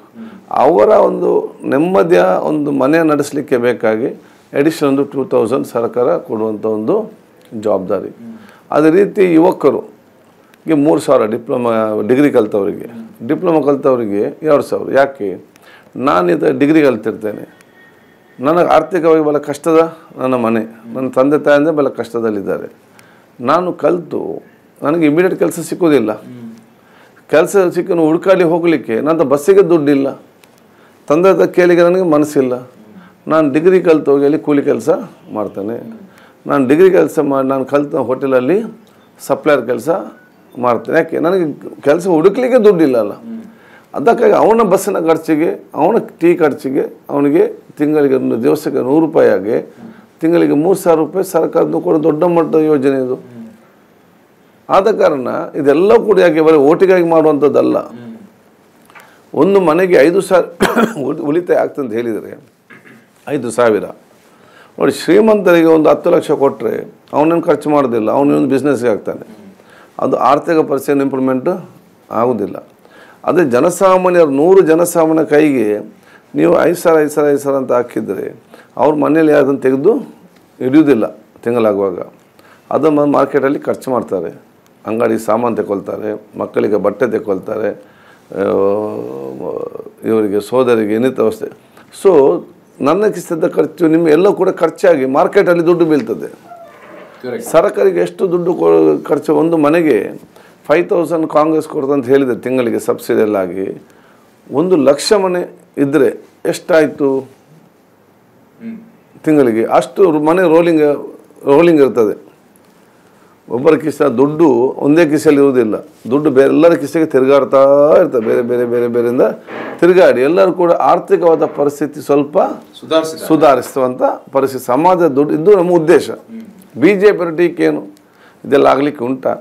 ಇದೆಲ್ಲ ಕೊಡಲಿಕ್ಕೆ ಉಂಟ. ನಾವು ಕೊಡಲೇಬೇಕು. ನೂರಕ್ಕೂ ನೂರು. ನಾವು ಹೇಳಿದಂಥ ಎಲ್ಲ ಸ್ಕೀಮ್ಗಳನ್ನು ನಾವು ಅಧಿಕಾರ ಬಂದರೆ ಜನರ ಕಾಲಬುಡಕ್ಕೆ ಮುಟ್ಟಿಸ್ತೇವೆ. ಯಾಕೆ ನಾವು ಕೊಡಲೇಬೇಕಂತ ಹೇಳಿದರೆ ನಾಳೆ ಜಿಲ್ಲಾ ಪಂಚಾಯತ್, ತಾಲೂಕು ಪಂಚಾಯತ್, ಗ್ರಾಮ ಪಂಚಾಯತ್ ಚುನಾವ್ ಹೋಗಲೇಬೇಕಲ್ಲ. ನಮಗೆ ಕೊಡದಿದ್ದರೆ ಹೋಗಲಿಕ್ಕೆ ಸಾಧ್ಯ ಉಂಟಾ? ಮತ್ತು ನಾವು ಬೇರೆ ಪಕ್ಷದವರಾಗಿ ಭಾವನಾತ್ಮಕ ವಿಚಾರ, ಧರ್ಮದ ವಿಚಾರ, ತತ್ವದ ವಿಚಾರ ಹಿಡ್ಕೊಂಡು ಅಥವಾ ಸಮುದಾಯ ಅಂತ ಹೇಳಿಕೊಂಡು ನಮಗೆ ಹೋಗಲಿಕ್ಕೆ ಗೊತ್ತಿಲ್ಲ. ನಾವು ಕೆಲಸ ಮಾಡಿಯೇ ಹೋಗ್ಬೇಕು ಎಲ್ಲಿ ಹೋಗಿ ಓಟು ಗೆಲ್ಲಬೇಕಾದ್ರೂ ಕೂಡ ಕಾಂಗ್ರೆಸ್ ಜನರ ಕೆಲಸ ಮಾಡಿ ಅಲ್ಲದೆ ಕೆಲಸ ಮಾಡಿ ನಮ್ಗೆ ಎಲ್ಲಿ ಕೂಡ ಹೋಗ್ಲಿಕ್ಕೆ ಗೊತ್ತಿಲ್ಲ. ಇನ್ನು ಇಷ್ಟೆಲ್ಲ ಕೆಲಸ ಮಾಡಿ ದುಡ್ಡು ಉಂಟಾ ಎಲ್ಲಿಂದ ದುಡ್ಡು ಬರ್ತದೆ? ಕರೆಕ್ಟ್ ನಂದು ಅದೇ ಪ್ರಶ್ನೆ ಆಗಿತ್ತು. ದುಡ್ಡು ಎಲ್ಲಿಂದ ಬರ್ತದೆ ಅಂತ ಹೇಳಿದರೆ ಸಮರ್ಪಕವಾದ ಆಡಳಿತ ನಡೆಸಿಕೊಂಡು ಆರ್ಥಿಕವಾದ ಒಂದು ಸ್ಥಿರತೆಯನ್ನು ರೂಪಿಸಿಕೊಂಡು ಜನಸಾಮಾನ್ಯರಿಗೆ ಸವಲತ್ತು ಕೊಡುವುದರಲ್ಲಿ ತಪ್ಪೇನಿದೆ. ನಾನು ಇವತ್ತು ಕೇಳುವಂಥದ್ದು ಬಿ, ನಮ್ಮ ರಾಜ್ಯದ ಬಜೆಟ್ ಮೂರು ಲಕ್ಷದ ಒಂಬತ್ತು ಸಾವಿರ ಕೋಟಿ. ನಮಗೆ ಬಹುಶಃ ಇವತ್ತು ಬೇಕಾದದ್ದು ಎಲ್ಲ ಸ್ಕೀಮ್ಗಳಿಗೆ ವರ್ಷಕ್ಕೆ ಇಪ್ಪತ್ತೈದು ಸಾವಿರದ ಮೂವತ್ತು ಸಾವಿರ ಕೋಟಿ. ನಮ್ಮ ಈ ಸ್ಕೀಮ್ ನಾವು ಕೊಟ್ಟರೆ ಅಡಿಷನಲ್ ಸೊ ನಮ್ಮ ಮೂರು ಲಕ್ಷದ ಒಂಬತ್ತು ಸಾವಿರ ಕೋಟಿ ಇದೆಯಲ್ಲ, ಈ ಬಜೆಟ್ನಲ್ಲಿ ಇವರು ನಲ್ವತ್ತು ಪರ್ಸೆಂಟ್ ಕಮಿಷನ್ ಇವ್ರದೀಗ. ಪ್ರತಿಯೊಂದು ಇಲಾಖೆಯಲ್ಲಿ ಕೂಡ ಫಾರ್ಟಿ ಪರ್ಸೆಂಟ್ ಕಮಿಷನ್ ಮೂರು ಲಕ್ಷ ಒಂಬತ್ತು ಸಾವಿರ ಕೋಟಿಯಲ್ಲಿ ನಲ್ವತ್ತು ಪರ್ಸೆಂಟ್ ಕಮಿಷನ್ ಅಂದ್ರೆ ಎಷ್ಟಾಯಿತು? ಒಂದು ಲಕ್ಷ ಇಪ್ಪತ್ತು ಸಾವಿರ ಕೋಟಿ. ನಮಗೆ ಉಳಿಸ್ಬೋದು ಸರ್ಕಾರಕ್ಕೆ. ಕರೆಕ್ಟಾಗಿ ಸ್ಟ್ರಿಕ್ಟ್ ಅಡ್ಮಿನಿಸ್ಟ್ರೇಷನ್ ಮಾಡಿದರೆ. ನಮಗೆ ಈ ಒಂದು ಲಕ್ಷ ಇಪ್ಪತ್ತು ಸಾವಿರ ಕೋಟಿ ಉಳಿತಾಯ ಆದರೆ ನಮ್ಗೆ ಖರ್ಚಾಗದೆ ಎಷ್ಟು ಇವರಿಗೆ ಸ್ಕೀಮಿಗೆ? ಬರೀ ಇಪ್ಪತ್ತೈದು ಸಾವಿರ ಕೋಟಿ. ಇನ್ನಿಂತ ಹತ್ತು ಕಾರ್ಯಕ್ರಮಗಳು ನಮಗೆ ಮಾಡ್ಬೋದು. ಮಾಡ್ಬೋದು. ಇಚ್ಛಾಶಕ್ತಿ ಇಚ್ಛಾಶಕ್ತಿ ಮತ್ತು ಸಮ ಭ್ರಷ್ಟಾಚಾರಹಿತವಾದ ಒಂದು ಆರ್ಥಿಕ ವ್ಯವಸ್ಥೆ ಆಡಳಿತ ಈ ದೇಶಕ್ಕೆ ಬೇಕು. ಅದಕ್ಕಾಗಿ ಮನಮೋಹನ್ ಸಿಂಗ್ದಾಗ ಈ ದೇಶದ ಆರ್ಥಿಕ ವ್ಯವಸ್ಥೆ ಬದಲಾವಣೆ ಆಯಿತು ಕಾನೂನೆಲ್ಲ ಒಂದೇ ಅಲ್ವಾ? ಬರೇ ಒಂದು ಜನ ಅಲ್ಲಿ ಕೂತ್ಕೊಂಡ ಕಾರಣ ಆರ್ಥಿಕ ವ್ಯವಸ್ಥೆ ಇಡೀ ದೇಶದ ಬದಲಾವಣೆ ಆಯಿತು ಮುಖ್ಯಮಂತ್ರಿ ಸಿದ್ದರಾಮಯ್ಯ ಇದ್ದ ಕಾರಣ ಎಲ್ಲ ಮುಖ್ಯ ಬೇರೆ ಬೇರೆ ಮನುಷ್ಯರೇ. ಸರ್ಕಾರ ಅದೇ ಅಧಿಕಾರಿಗಳದೇ ಫ್ಯಾಕ್ಟ್ರಿ ಅದೇ, ಜನರು ಅದೇ. ಅದು ಒಬ್ಬರು ಬಂದು ಅಧಿಕಾರಿ ಕೂತ ತಕ್ಷಣವೇ ಆರ್ಥಿಕ ಪರಿಸ್ಥಿತಿಯೇ ಯಾಕಂದ್ರೆ ಅವನು ಕೂತ್ಕೊಂಡಂಥ ಆರ್ಥಿಕ ವ್ಯವಸ್ಥೆ ಒಂದು ಶಕ್ತಿ. ಅದು ನಾವು ಆರ್ಥಿಕ ಕ್ರೋಢೀಕರಿಸಿಕೊಂಡು ನಾವು ಜನರಿಗೆ ಕೊಡ್ತೇವೆ. ಮತ್ತೆ ಕೆಲವರು ಹೇಳ್ತಾರೆ, ಈಗೆಲ್ಲ ದುಡ್ಡು ಖರ್ಚು ಮಾಡಿದ್ರೆ ನಮ್ಮ ದೇಶ ಪಾಕಿಸ್ತಾನ ಥರ ಆಗ್ಬೋದು, ನೇಪಾಳ ಥರ ಆಗ್ಬೋದು, ಶ್ರೀಲಂಕಾ ಥರ ಆಗ್ಬೋದು ಅಂತೇಳಿ. ನಾನು ಯಾವಾಗಲೂ ಹೇಳ್ತಾ ಇರ್ತೇನೆ, ಪಾಕಿಸ್ತಾನ ಅಥವಾ ಹಿಂದೂ ರಾಷ್ಟ್ರವಾದ ನೇಪಾಳ ಅಥವಾ ಶ್ರೀಲಂಕಾ ಜನಸಾಮಾನ್ಯರಿಗೆ ಮತ್ತು ಬಡವರಿಗೆ ಯೋಜನೆಗಳು ಕೊಟ್ಟ ಕಾರಣ ಇವತ್ತು ಬರ್ಬಾದಾಗಲಿಲ್ಲ. ಪಾಕಿಸ್ತಾನ ಇರಲಿ ನೇಪಾಳ ಇರಲಿ ಶ್ರೀಲಂಕಾ ಇರಲಿ ಯಾಕೆ ಬರ್ಬಾದಾಯಿತು ಅಂತ ಹೇಳಿದರೆ ಕೋಮು ಆಧಾರಿತವಾದ ದೇಶ ವಿಶ್ವದಲ್ಲಿ ಎಲ್ಲಿಯೂ ಕೂಡ ಬದುಕಲಿಕ್ಕೆ ಸಾಧ್ಯವಿಲ್ಲ. ಕೋಮು ಆಧಾರಿತವಾದ ದೇಶ ಎಲ್ಲಿ ಕೂಡ ವಿಶ್ವದಲ್ಲಿ ಬದುಕಲಿಕ್ಕೆ ಸಾಧ್ಯವಿಲ್ಲ. ಅವರ ಆ ಒಂದು, ಏನು ಪಾಲಿಸಿ ಇದೆಯಲ್ಲ ಅದರಿಂದಾಗಿ ಇವತ್ತು ಬರ್ಬದಾಗಿದ್ದಾರೆ. ನಾವಿವತ್ತು ಸೌಹಾರ್ದ ಪ್ರೀತಿ ವಿಶ್ವಾಸ ಈ ಸಮಾಜ ಎಲ್ಲ ಅವರು ಸಂತೋಷ ಇರಬೇಕೆಂಬ ಆ ಒಂದು ವಿವಿಧತೆಯಲ್ಲಿ ಏಕತೆ ಇದೆಯಲ್ಲ ಅದು ನಮ್ಮ ದೇಶಕ್ಕೆ ದೊಡ್ಡ ದೊಡ್ಡ ಶಕ್ತಿ ವರದಾನ. ಸೊ ಬಿ ಜೆ ಪಿಯವರಿಗೆ ಟೀಕೆ ಮಾಡೋ ಇದೆಲ್ಲ ವಿಚಾರವೇ ಗೊತ್ತಿಲ್ಲ. ಏನೋ ಒಂದು ಟೀಕೆ ಮಾಡಬೇಕಂತೇಳಿ ಟೀಕೆ ಮಾಡಿಕೊಂಡು ಹೋಗ್ತಾರೆ. ಟೀಕೆ ಮಾಡಿ ನಾಳೆ ಅವರು ಸೋತು ನಾವೇ ಗೆದ್ದರೆ ಸವಲತ್ತು ತಗೊಳ್ಳಿಕ್ಕೆ ಫಸ್ಟ್ ಬಿ ಜೆ ಪಿಯವರೇ ಬರ್ತಾರೆ. ಕೊನೆಯ ಒಂದು ಪ್ರಶ್ನೆ ಅಂದ್ರೆ ಎರಡು ಪ್ರಶ್ನೆಯನ್ನ ಕ್ಲಬ್ ಮಾಡಿ ಒಂದೇ ಪ್ರಶ್ನೆ ಕೇಳ್ತೀನಿ. ಮೈನಾರಿಟೀಸ್ಗೆ ಅಂತ ಹೇಳಿಕ ತಾವ್ಯುತ್ ಏನು ಮಾಡಿದೆ ಅಂತ. ಸೊ ಒಂದು ನಾವು ಮೈನಾರಿಟೀಸ್ ಕೊಡುವ ಒಂದು ದೊಡ್ಡ ಕೊಡುಗೆ ಸೌಹಾರ್ದ ವಾತಾವರಣ ನಿರ್ಮಾಣ ಮಾಡೋದೇ ನಂಬರ್ ಒಂದು ಕೊಡುಗೆ ಎಲ್ಲ ಒಂದು ಸಮಾಜದಲ್ಲಿ ಒಂದು. ಅದರ ಮುಖಾಂತರ ಎರಡನೇ ಅಭಿವೃದ್ಧಿ. ನೀವು ಯಾವುದೇ ಪ್ರದೇಶದಲ್ಲಿ ಯಾವುದೇ ವರ್ಗದ ಮತ್ತು ಯಾವುದೇ ನಮ್ಮ ಸಮ ಸಮುದಾಯದವರು ಕೂಡ ಅವರ ಧಾರ್ಮಿಕ ಕ್ಷೇತ್ರ ಇರಲಿ ಅವರ ಶೈಕ್ಷಣಿಕ ಸಂಬಂಧ ಕ್ಷೇತ್ರ ಇರಲಿ ಆರೋಗ್ಯ ಯಾವ ಆರೋಗ್ಯ ಎಲ್ಲೆಲ್ಲ ಕೆಲಸ ಮಾಡಿದ್ದೇವೆ. ಇನ್ನು ಶಿಕ್ಷಣ ಸಂಸ್ಥೆಗೆ ಸಂಬಂಧಪಟ್ಟಾಗಿ ನನ್ನ ಕ್ಷೇತ್ರ ಮೂರು ಅಬ್ದುಲ್ ಕಲಾಂ ಆಜ ಶಾಲೆ ಇವತ್ತು ಪ್ರಾರಂಭ ಮಾಡಿದ್ದೇವೆ. ಅದು ಯಾರಿಗೆ? ನಮ್ಮ ರಾಜ್ಯ ನಮ್ಮ ಮೈನಾರಿಟಿ ಮಕ್ಕಳು ಕಲಿಯುವಂಥ ಶಾಲೆ ಅಲ್ಲ. ಇಡೀ ರಾಜ್ಯದಲ್ಲಿ ಒಂದು ವಿಧಾನಸಭಾ ಕ್ಷೇತ್ರದಲ್ಲಿ ಮೂರು ಎಲ್ಲಿದೆ ಅಂತ ಹೇಳಿದರೆ ಅದು ಉಳ್ಳಾಲದಲ್ಲಿ ಅಂತ ಹೇಳಿ ನನಗೆ ಅತ್ಯಂತ ಹೆಮ್ಮೆ ಬರ್ತದೆ. ಇನ್ನು ಸಿಕ್ಸ್ ಸ್ಟ್ಯಾಂಡರ್ಡ್ನ ಪಿ ಯು ಸಿ ತನಕ ಸಿ ಬಿ ಎಸ್ ಸಿನಲ್ಲಿ ಮಹಿಳೆಯರಿಗೆ ಉಚಿತವಾದ ಶಿಕ್ಷಣ. ಡಾಕ್ಟರ್ ಅಬ್ದುಲ್ ಕಲಾಂ ಶಿಕ್ಷಣ ಸಂಸ್ಥೆ ಅಸೇಗೋಲಿಯಲ್ಲಿ ಅಲ್ಲಿ ಹೋಗಿ ನೋಡಬೇಕು. ಆಯಿತು ಹಂಡ್ರೆಡ್ ಪರ್ಸೆಂಟ್ ರಿಸಲ್ಟ್ ಅಲ್ಲಿ ಯಾರು ಕಲಿಯುವಂಥದ್ದು? ಸೆವೆಂಟಿ ಫೈವ್ ಪರ್ಸೆಂಟ್ ಮೈನಾರಿಟಿಸೇ ಕಲಿಯುವಂಥದ್ದು. ಟ್ವೆಂಟಿ ಫೈವ್ ಪರ್ಸೆಂಟ್ ಬೇರೆಯವರು. ಇನ್ನು ಮಂಜನಾಡಿ ಅಸೈಯಲ್ಲಿ ಇವತ್ತು ಮೊರಜಿ ದೇಸೈ ಅಲ್ಪಸಂಖ್ಯೆ ಶಾಲೆ. ಅಲ್ಲಿ ಹೋಗಿ ನೋಡಿ ಯಾವ ರೀತಿಯ ಸವಲತ್ತಿನಿಂದ ಅಲ್ಲಿ ಹೋಗಿ ನಾವಿವತ್ತು ನೋಡಬೇಕು. ಮತ್ತು ಇವತ್ತು ನಮ್ಮ ವಸತಿ ನಿಲಯರು ಯಾರೆಲ್ಲ ವಿದ್ ಮೈನಾರಿಟಿ ವಿದ್ಯಾರ್ಥಿ ವಿದ್ಯಾರ್ಥಿಗಳಿಗೆ ಬರ್ತಾರ ಹಾಸ್ಟೆಲ್ನ ಇವತ್ತು ವ್ಯವಸ್ಥೆ.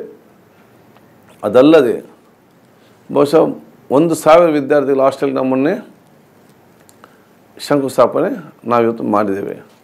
ಎಲ್ಲಕ್ಕಿಂತ ಮಿಗಿಲಾಗಿ ಎಲ್ಲ ಸವಾಲು ಏನು ಬೇರೆ ಬೇರೆ ಸಿಗ್ತದೆ ಅದು ಎಲ್ಲ ವರ್ಗದವರಿಗೂ ಕೂಡ ಸಿಕ್ಕುವಂಥದ್ದು. ಅದು ಮುಟ್ಟಿಸಿದ ಕೆಲಸ ನಾವು ಇವತ್ತು ಮಾಡಬೇಕು ಅನ್ನೋ ವಿಚಾರ ಇವತ್ತು ಮಾಡಬೇಕಾಗ್ತದೆ. ಆದ ಕಾರಣ ಲಾಂಗ್ ಟರ್ಮ್ನಲ್ಲಿ ನಮ್ಮ ಸಮಾಜಕ್ಕೆ ಏನೆಲ್ಲ ಇತ್ತು ಪ್ರಯೋಜನ ಆಗಬೇಕಾ? ಇನ್ನಿತರ ಸಮಾಜದ ಜೊತೆ ನಾವು ಹೇಗೆ ಮುಖ್ಯವಾಹಿನಿಯಲ್ಲಿ ಬಂದು ಸೇರಿಕೊಳ್ಬೇಕಾ? ಅದಕ್ಕೆ ಬೇಕಾಗುವಂತಹ ಎಲ್ಲ ಆ ಒಂದು ಶಾಸಕನಾಗಿ ನನ್ನ ಆ ಒಂದು ಸಹಕಾರ ಕೊಡೋದು ಅವರನ್ನು ಇನ್ನಿತರ ವರ್ಗದನ್ನು ಸೌಹಾರ್ದ ವಾತಾವರಣವಾಗಿ ನಮ್ಮ ಸಮಾಜಕ್ಕೆ ವಿಶ್ವಾಸ ಬರುತ್ತುವಂತಹ ಒಂದು ಪರಿಸ್ಥಿತಿ ನಿರ್ಮಾಣ ಮಾಡೋದು ಯಾಕೆ ಇನ್ನಿತರ ವರ್ಗದ ಜೊತೆ ನಾವು ವಿಶ್ವಾಸಕ್ಕೆ ಬರಬೇಕಾದ್ರೆ ಆ ಗೌರವ ಅಲ್ಲಿ ನಮಗೆ ಸಿಗಬೇಕಾದ್ರೆ ನಮ್ಮ ನಡುವಲ್ಲಿ ಕೂಡ ಕರಗಬೇಕು. ನಾನು ಕರೆಕ್ಟಾಗಿದ್ದರೆ ಅದು ನನಗೆ ಸಿಕ್ಕುವಂಥ ಗೌರವ ಅಲ್ಲ ಇಡೀ ನಮ್ಮ ಸಮುದಾಯಕ್ಕೆ ಸಿಕ್ಕುವಂಥ ಗೌರವ ಇವತ್ತು ಆಗುವಂಥ ಅವಕಾಶ ಇವತ್ತು ಆಗ್ತದೆ. ನಾನದು ತಪ್ಪು ಬ್ಯಾ ಮಾತಾಡಿದರೆ ನಾವೇನು ಬೇಡದು ಮಾತಾಡಿದರೆ ನಾನು ಬೇಡದ ಕೆಲಸ ಮಾಡಿದರೆ ಅದು ಯುವಟಿಗೆ ಅದು ಒಬ್ಬನಿಗೆ ಕೆಟ್ಟ ಹೆಸರಲ್ಲ. ಇಡೀ ನಮ್ಮ ಸಮುದಾಯಕ್ಕೆ ಬರುವಂಥ ಕೆಟ್ಟ ಹೆಸರು. ಆದ ಕಾರಣ ಭಾಳಷ್ಟು ನಾವು ಮಾಡಿದ್ದು ಇದೆ. ಅದು ಯಾರು ಟೀಕೆ ಮಾಡಿದವ್ರಿಗೆ ನಾನು ಹೇಳ್ದಿಷ್ಟೇ ಆಯ್ತಪ್ಪ ನಾವೇನು ಮಾಡಿರಲಿಕ್ಕಿಲ್ಲ ನಿಮ್ಮ ಪ್ರಕಾರ. ಆದರೆ ನಮ್ಮ ಕಮ್ಯುನಿಟಿಗೆ ಕಪ್ಪು ಚುಕ್ಕಿ ತರುವಂಥ ಕೆಲಸ ಯಾವುದು ಕೂಡ ಕೂಡ ನಾವು ಮಾಡಲಿಲ್ಲ ಅಂತ ಹೇಳಲಿಕ್ಕೆ ನಾನು ಬಯಸುವಂಥದ್ದು. ರೈಟ್ ಸರ್ ಕೊನೆಯ ಪ್ರಶ್ನೆ. ಈ ಬಾರಿ ಎಂಟು ವಿಧಾನಸಭಾ ಕ್ಷೇತ್ರದಲ್ಲಿ ನಿಮ್ಮ ಪಕ್ಷ ಎಷ್ಟರಲ್ಲಿ ಗೆಲ್ಬಹುದು? ನೋಡಿ ನಮಗೆ ಇವತ್ತು ಎಂಟಕ್ಕೆ ಎಂಟು ಗೆಲ್ಲಬೇಕಂತ ಆಸೆ. ಅವರಿಗೂ ಇದೆ. ಅವರಿಗೂ ಇದೆ. ದಕ್ಷಿಣ ಕನ್ನಡ ಜಿಲ್ಲೆ ಎಂದೂ ಕೂಡ ಕೋಮುವಾದಿಗಳ ಜಿಲ್ಲೆ ಆಗಲಿಲ್ಲ ಚುನಾವಣೆಯಲ್ಲಿ. ಎರಡು ಸಾವಿರದ ಎಂಟರಲ್ಲಿ ಕಾಂಗ್ರೆಸ್ ನಾಲ್ಕು ಬಿ ಜೆ ಪಿ ನಾಲ್ಕು. ಎರಡು ಸಾವಿರದ ಹದಿಮೂರರಲ್ಲಿ ಕಾಂಗ್ರೆಸ್ ಹೇಳು ಬಿ ಜೆ ಪಿ ಒಂದು. ಒಂದು. ಎರಡು ಸಾವಿರದ ಹದಿನೆಂಟರಲ್ಲಿ ಬಿ ಜೆ ಪಿಯಲ್ಲೂ ಕಾಂಗ್ರೆಸ್ ಒಂದು. ಆದರೆ ಈ ಚುನಾವಣೆಯಲ್ಲಿ ಮತ್ತೆ ನಾವು ಎಂಟಕ್ಕೆ ಎಂಟು ಬರ್ಬೋದು, ನಾವು ಏಳು ಕೂಡ ಬರ್ಬೋದು. ಇಲ್ಲ ಅಂತ ಹೇಳಲಿಕ್ಕೆ ಆಗೋದಿಲ್ಲ. ಎಷ್ಟೇ ಇವರು ಕಮ್ಮಿ, ಕೋಮುವಾದ ಮತ್ತು ಇಂತ ಅಂದರೂ ಕೂಡ ಮತದಾನ ಹಾಕುವಾಗ ಜನ ಆಲೋಚನೆ ಮಾಡಿ ಮತದಾನ ಇವತ್ತು ಹಾಕಿದ್ದಾರೆ. ಸೊ ಈ ಸಲ ಒಂದು ಅಂಡರ್ ಕರೆಂಟ್ ಇದೆ ನನಗೆ ಭಾಳ ಚೆನ್ನಾಗಿ ಗೊತ್ತಿದೆ. ಒಂದು ಅಂಡ ನಿಮಗೆ ಮೇಲೆ ಲಾಸ್ಟ್ ಟೈಮ್ ನಾವು ಏಳು ಸೀಟ್ ಸೋಲ್ತಿದ್ದು ಯಾರಿಗೂ ಕೂಡ ಗೊತ್ತಿರಲಿಲ್ಲ. ಮೇಲಿಂದ ನೋಡೋಕೆ ನಾವೆಲ್ಲರೂ ಕೂಡ ಗೆಲ್ತೇವೆ ಅಂದಿತ್ತು. ಕರೆಕ್ಟ್ ಆದರೆ ಜನರ ತೀರ್ಮಾನವೇ ನಮಗೆ ಗೊತ್ತಾಗಲಿಲ್ಲ. ಕರೆಕ್ಟ್ ಆದ ಕಾರಣ ಆ ಎಲ್ಲ ತೀರ್ಮಾನ ಆ ಜನಸಾಮಾನ್ಯ ತೀರ್ಮಾನ ಏನಿದೆಯಾ ಅದು ಇವತ್ತು ಬಿ ಜೆ ಪಿ ವಿರುದ್ಧವಾಗಿದೆ. ಬಿ ಜೆ ಪಿ ಸ್ಪಷ್ಟ ಇವತ್ತು ನಾನು ಕೇಳ್ತಾ ಇದ್ದೇನೆ ಜನಸಾಮಾನ್ಯ ಏನು ಲಾಸ್ಟ್ ಟೈಮ್ ಬಿ ಜೆ ಪಿಗೆ ಓಟ್ ಆಗಿದ್ದವ್ರು ಕೂಡ ಹೇಳ್ತಾರೆ ನನ್ನ ಬಿ ಜೆ ಪಿ ಬತ್ತಂದ ಎಂಕ್ಲ ಬದುಕೇರ ಬುಡು ಪೂಜೆಯರು ಅಂತೇಳಿ ಸಾಮಾನ್ಯ ಜನ ಇವತ್ತು ಮಾತಾಡ್ತಾ ಇವತ್ತು ಇದ್ದಾರೆ. ಅದು ಚುನಾವಣೆ ಆಗುವಾಗಲೇ ಗೊತ್ತಾಗುವಂತು ಅಲ್ಲಿ ತನಕ ಗೊತ್ತಾಗುದಿಲ್ಲ ಹಾಗಾದ್ರೆ ಎಂಟರಲ್ಲಿ ಎಂಟು ನೀವು ಗೆಲ್ತೀರಿ ಅನ್ನೋ ಗೆಲ್ದ ವಿಶ್ವಾಸ. ಕನಿಷ್ಠ ಕನಿಷ್ಠ ಅದನ್ನ ಐದು ಅದನ್ನ ಗೆದ್ದೇ ಗೆಲ್ತೇವೆ. ಮತ್ತೆ ಕಾಂಗ್ರೆಸ್ ಗೆಲ್ಲಿಸ್ಲಿಕ್ಕೆ ಎಲ್ಲರೂ ಕೂಡ ಪ್ರಯತ್ನ ಪಡಬೇಕಂತೇಳಿ ನಾನು ಕೋರ್ತೇನೆ. Right sir. ಕೊನೆಯ ಪ್ರಶ್ನೆ.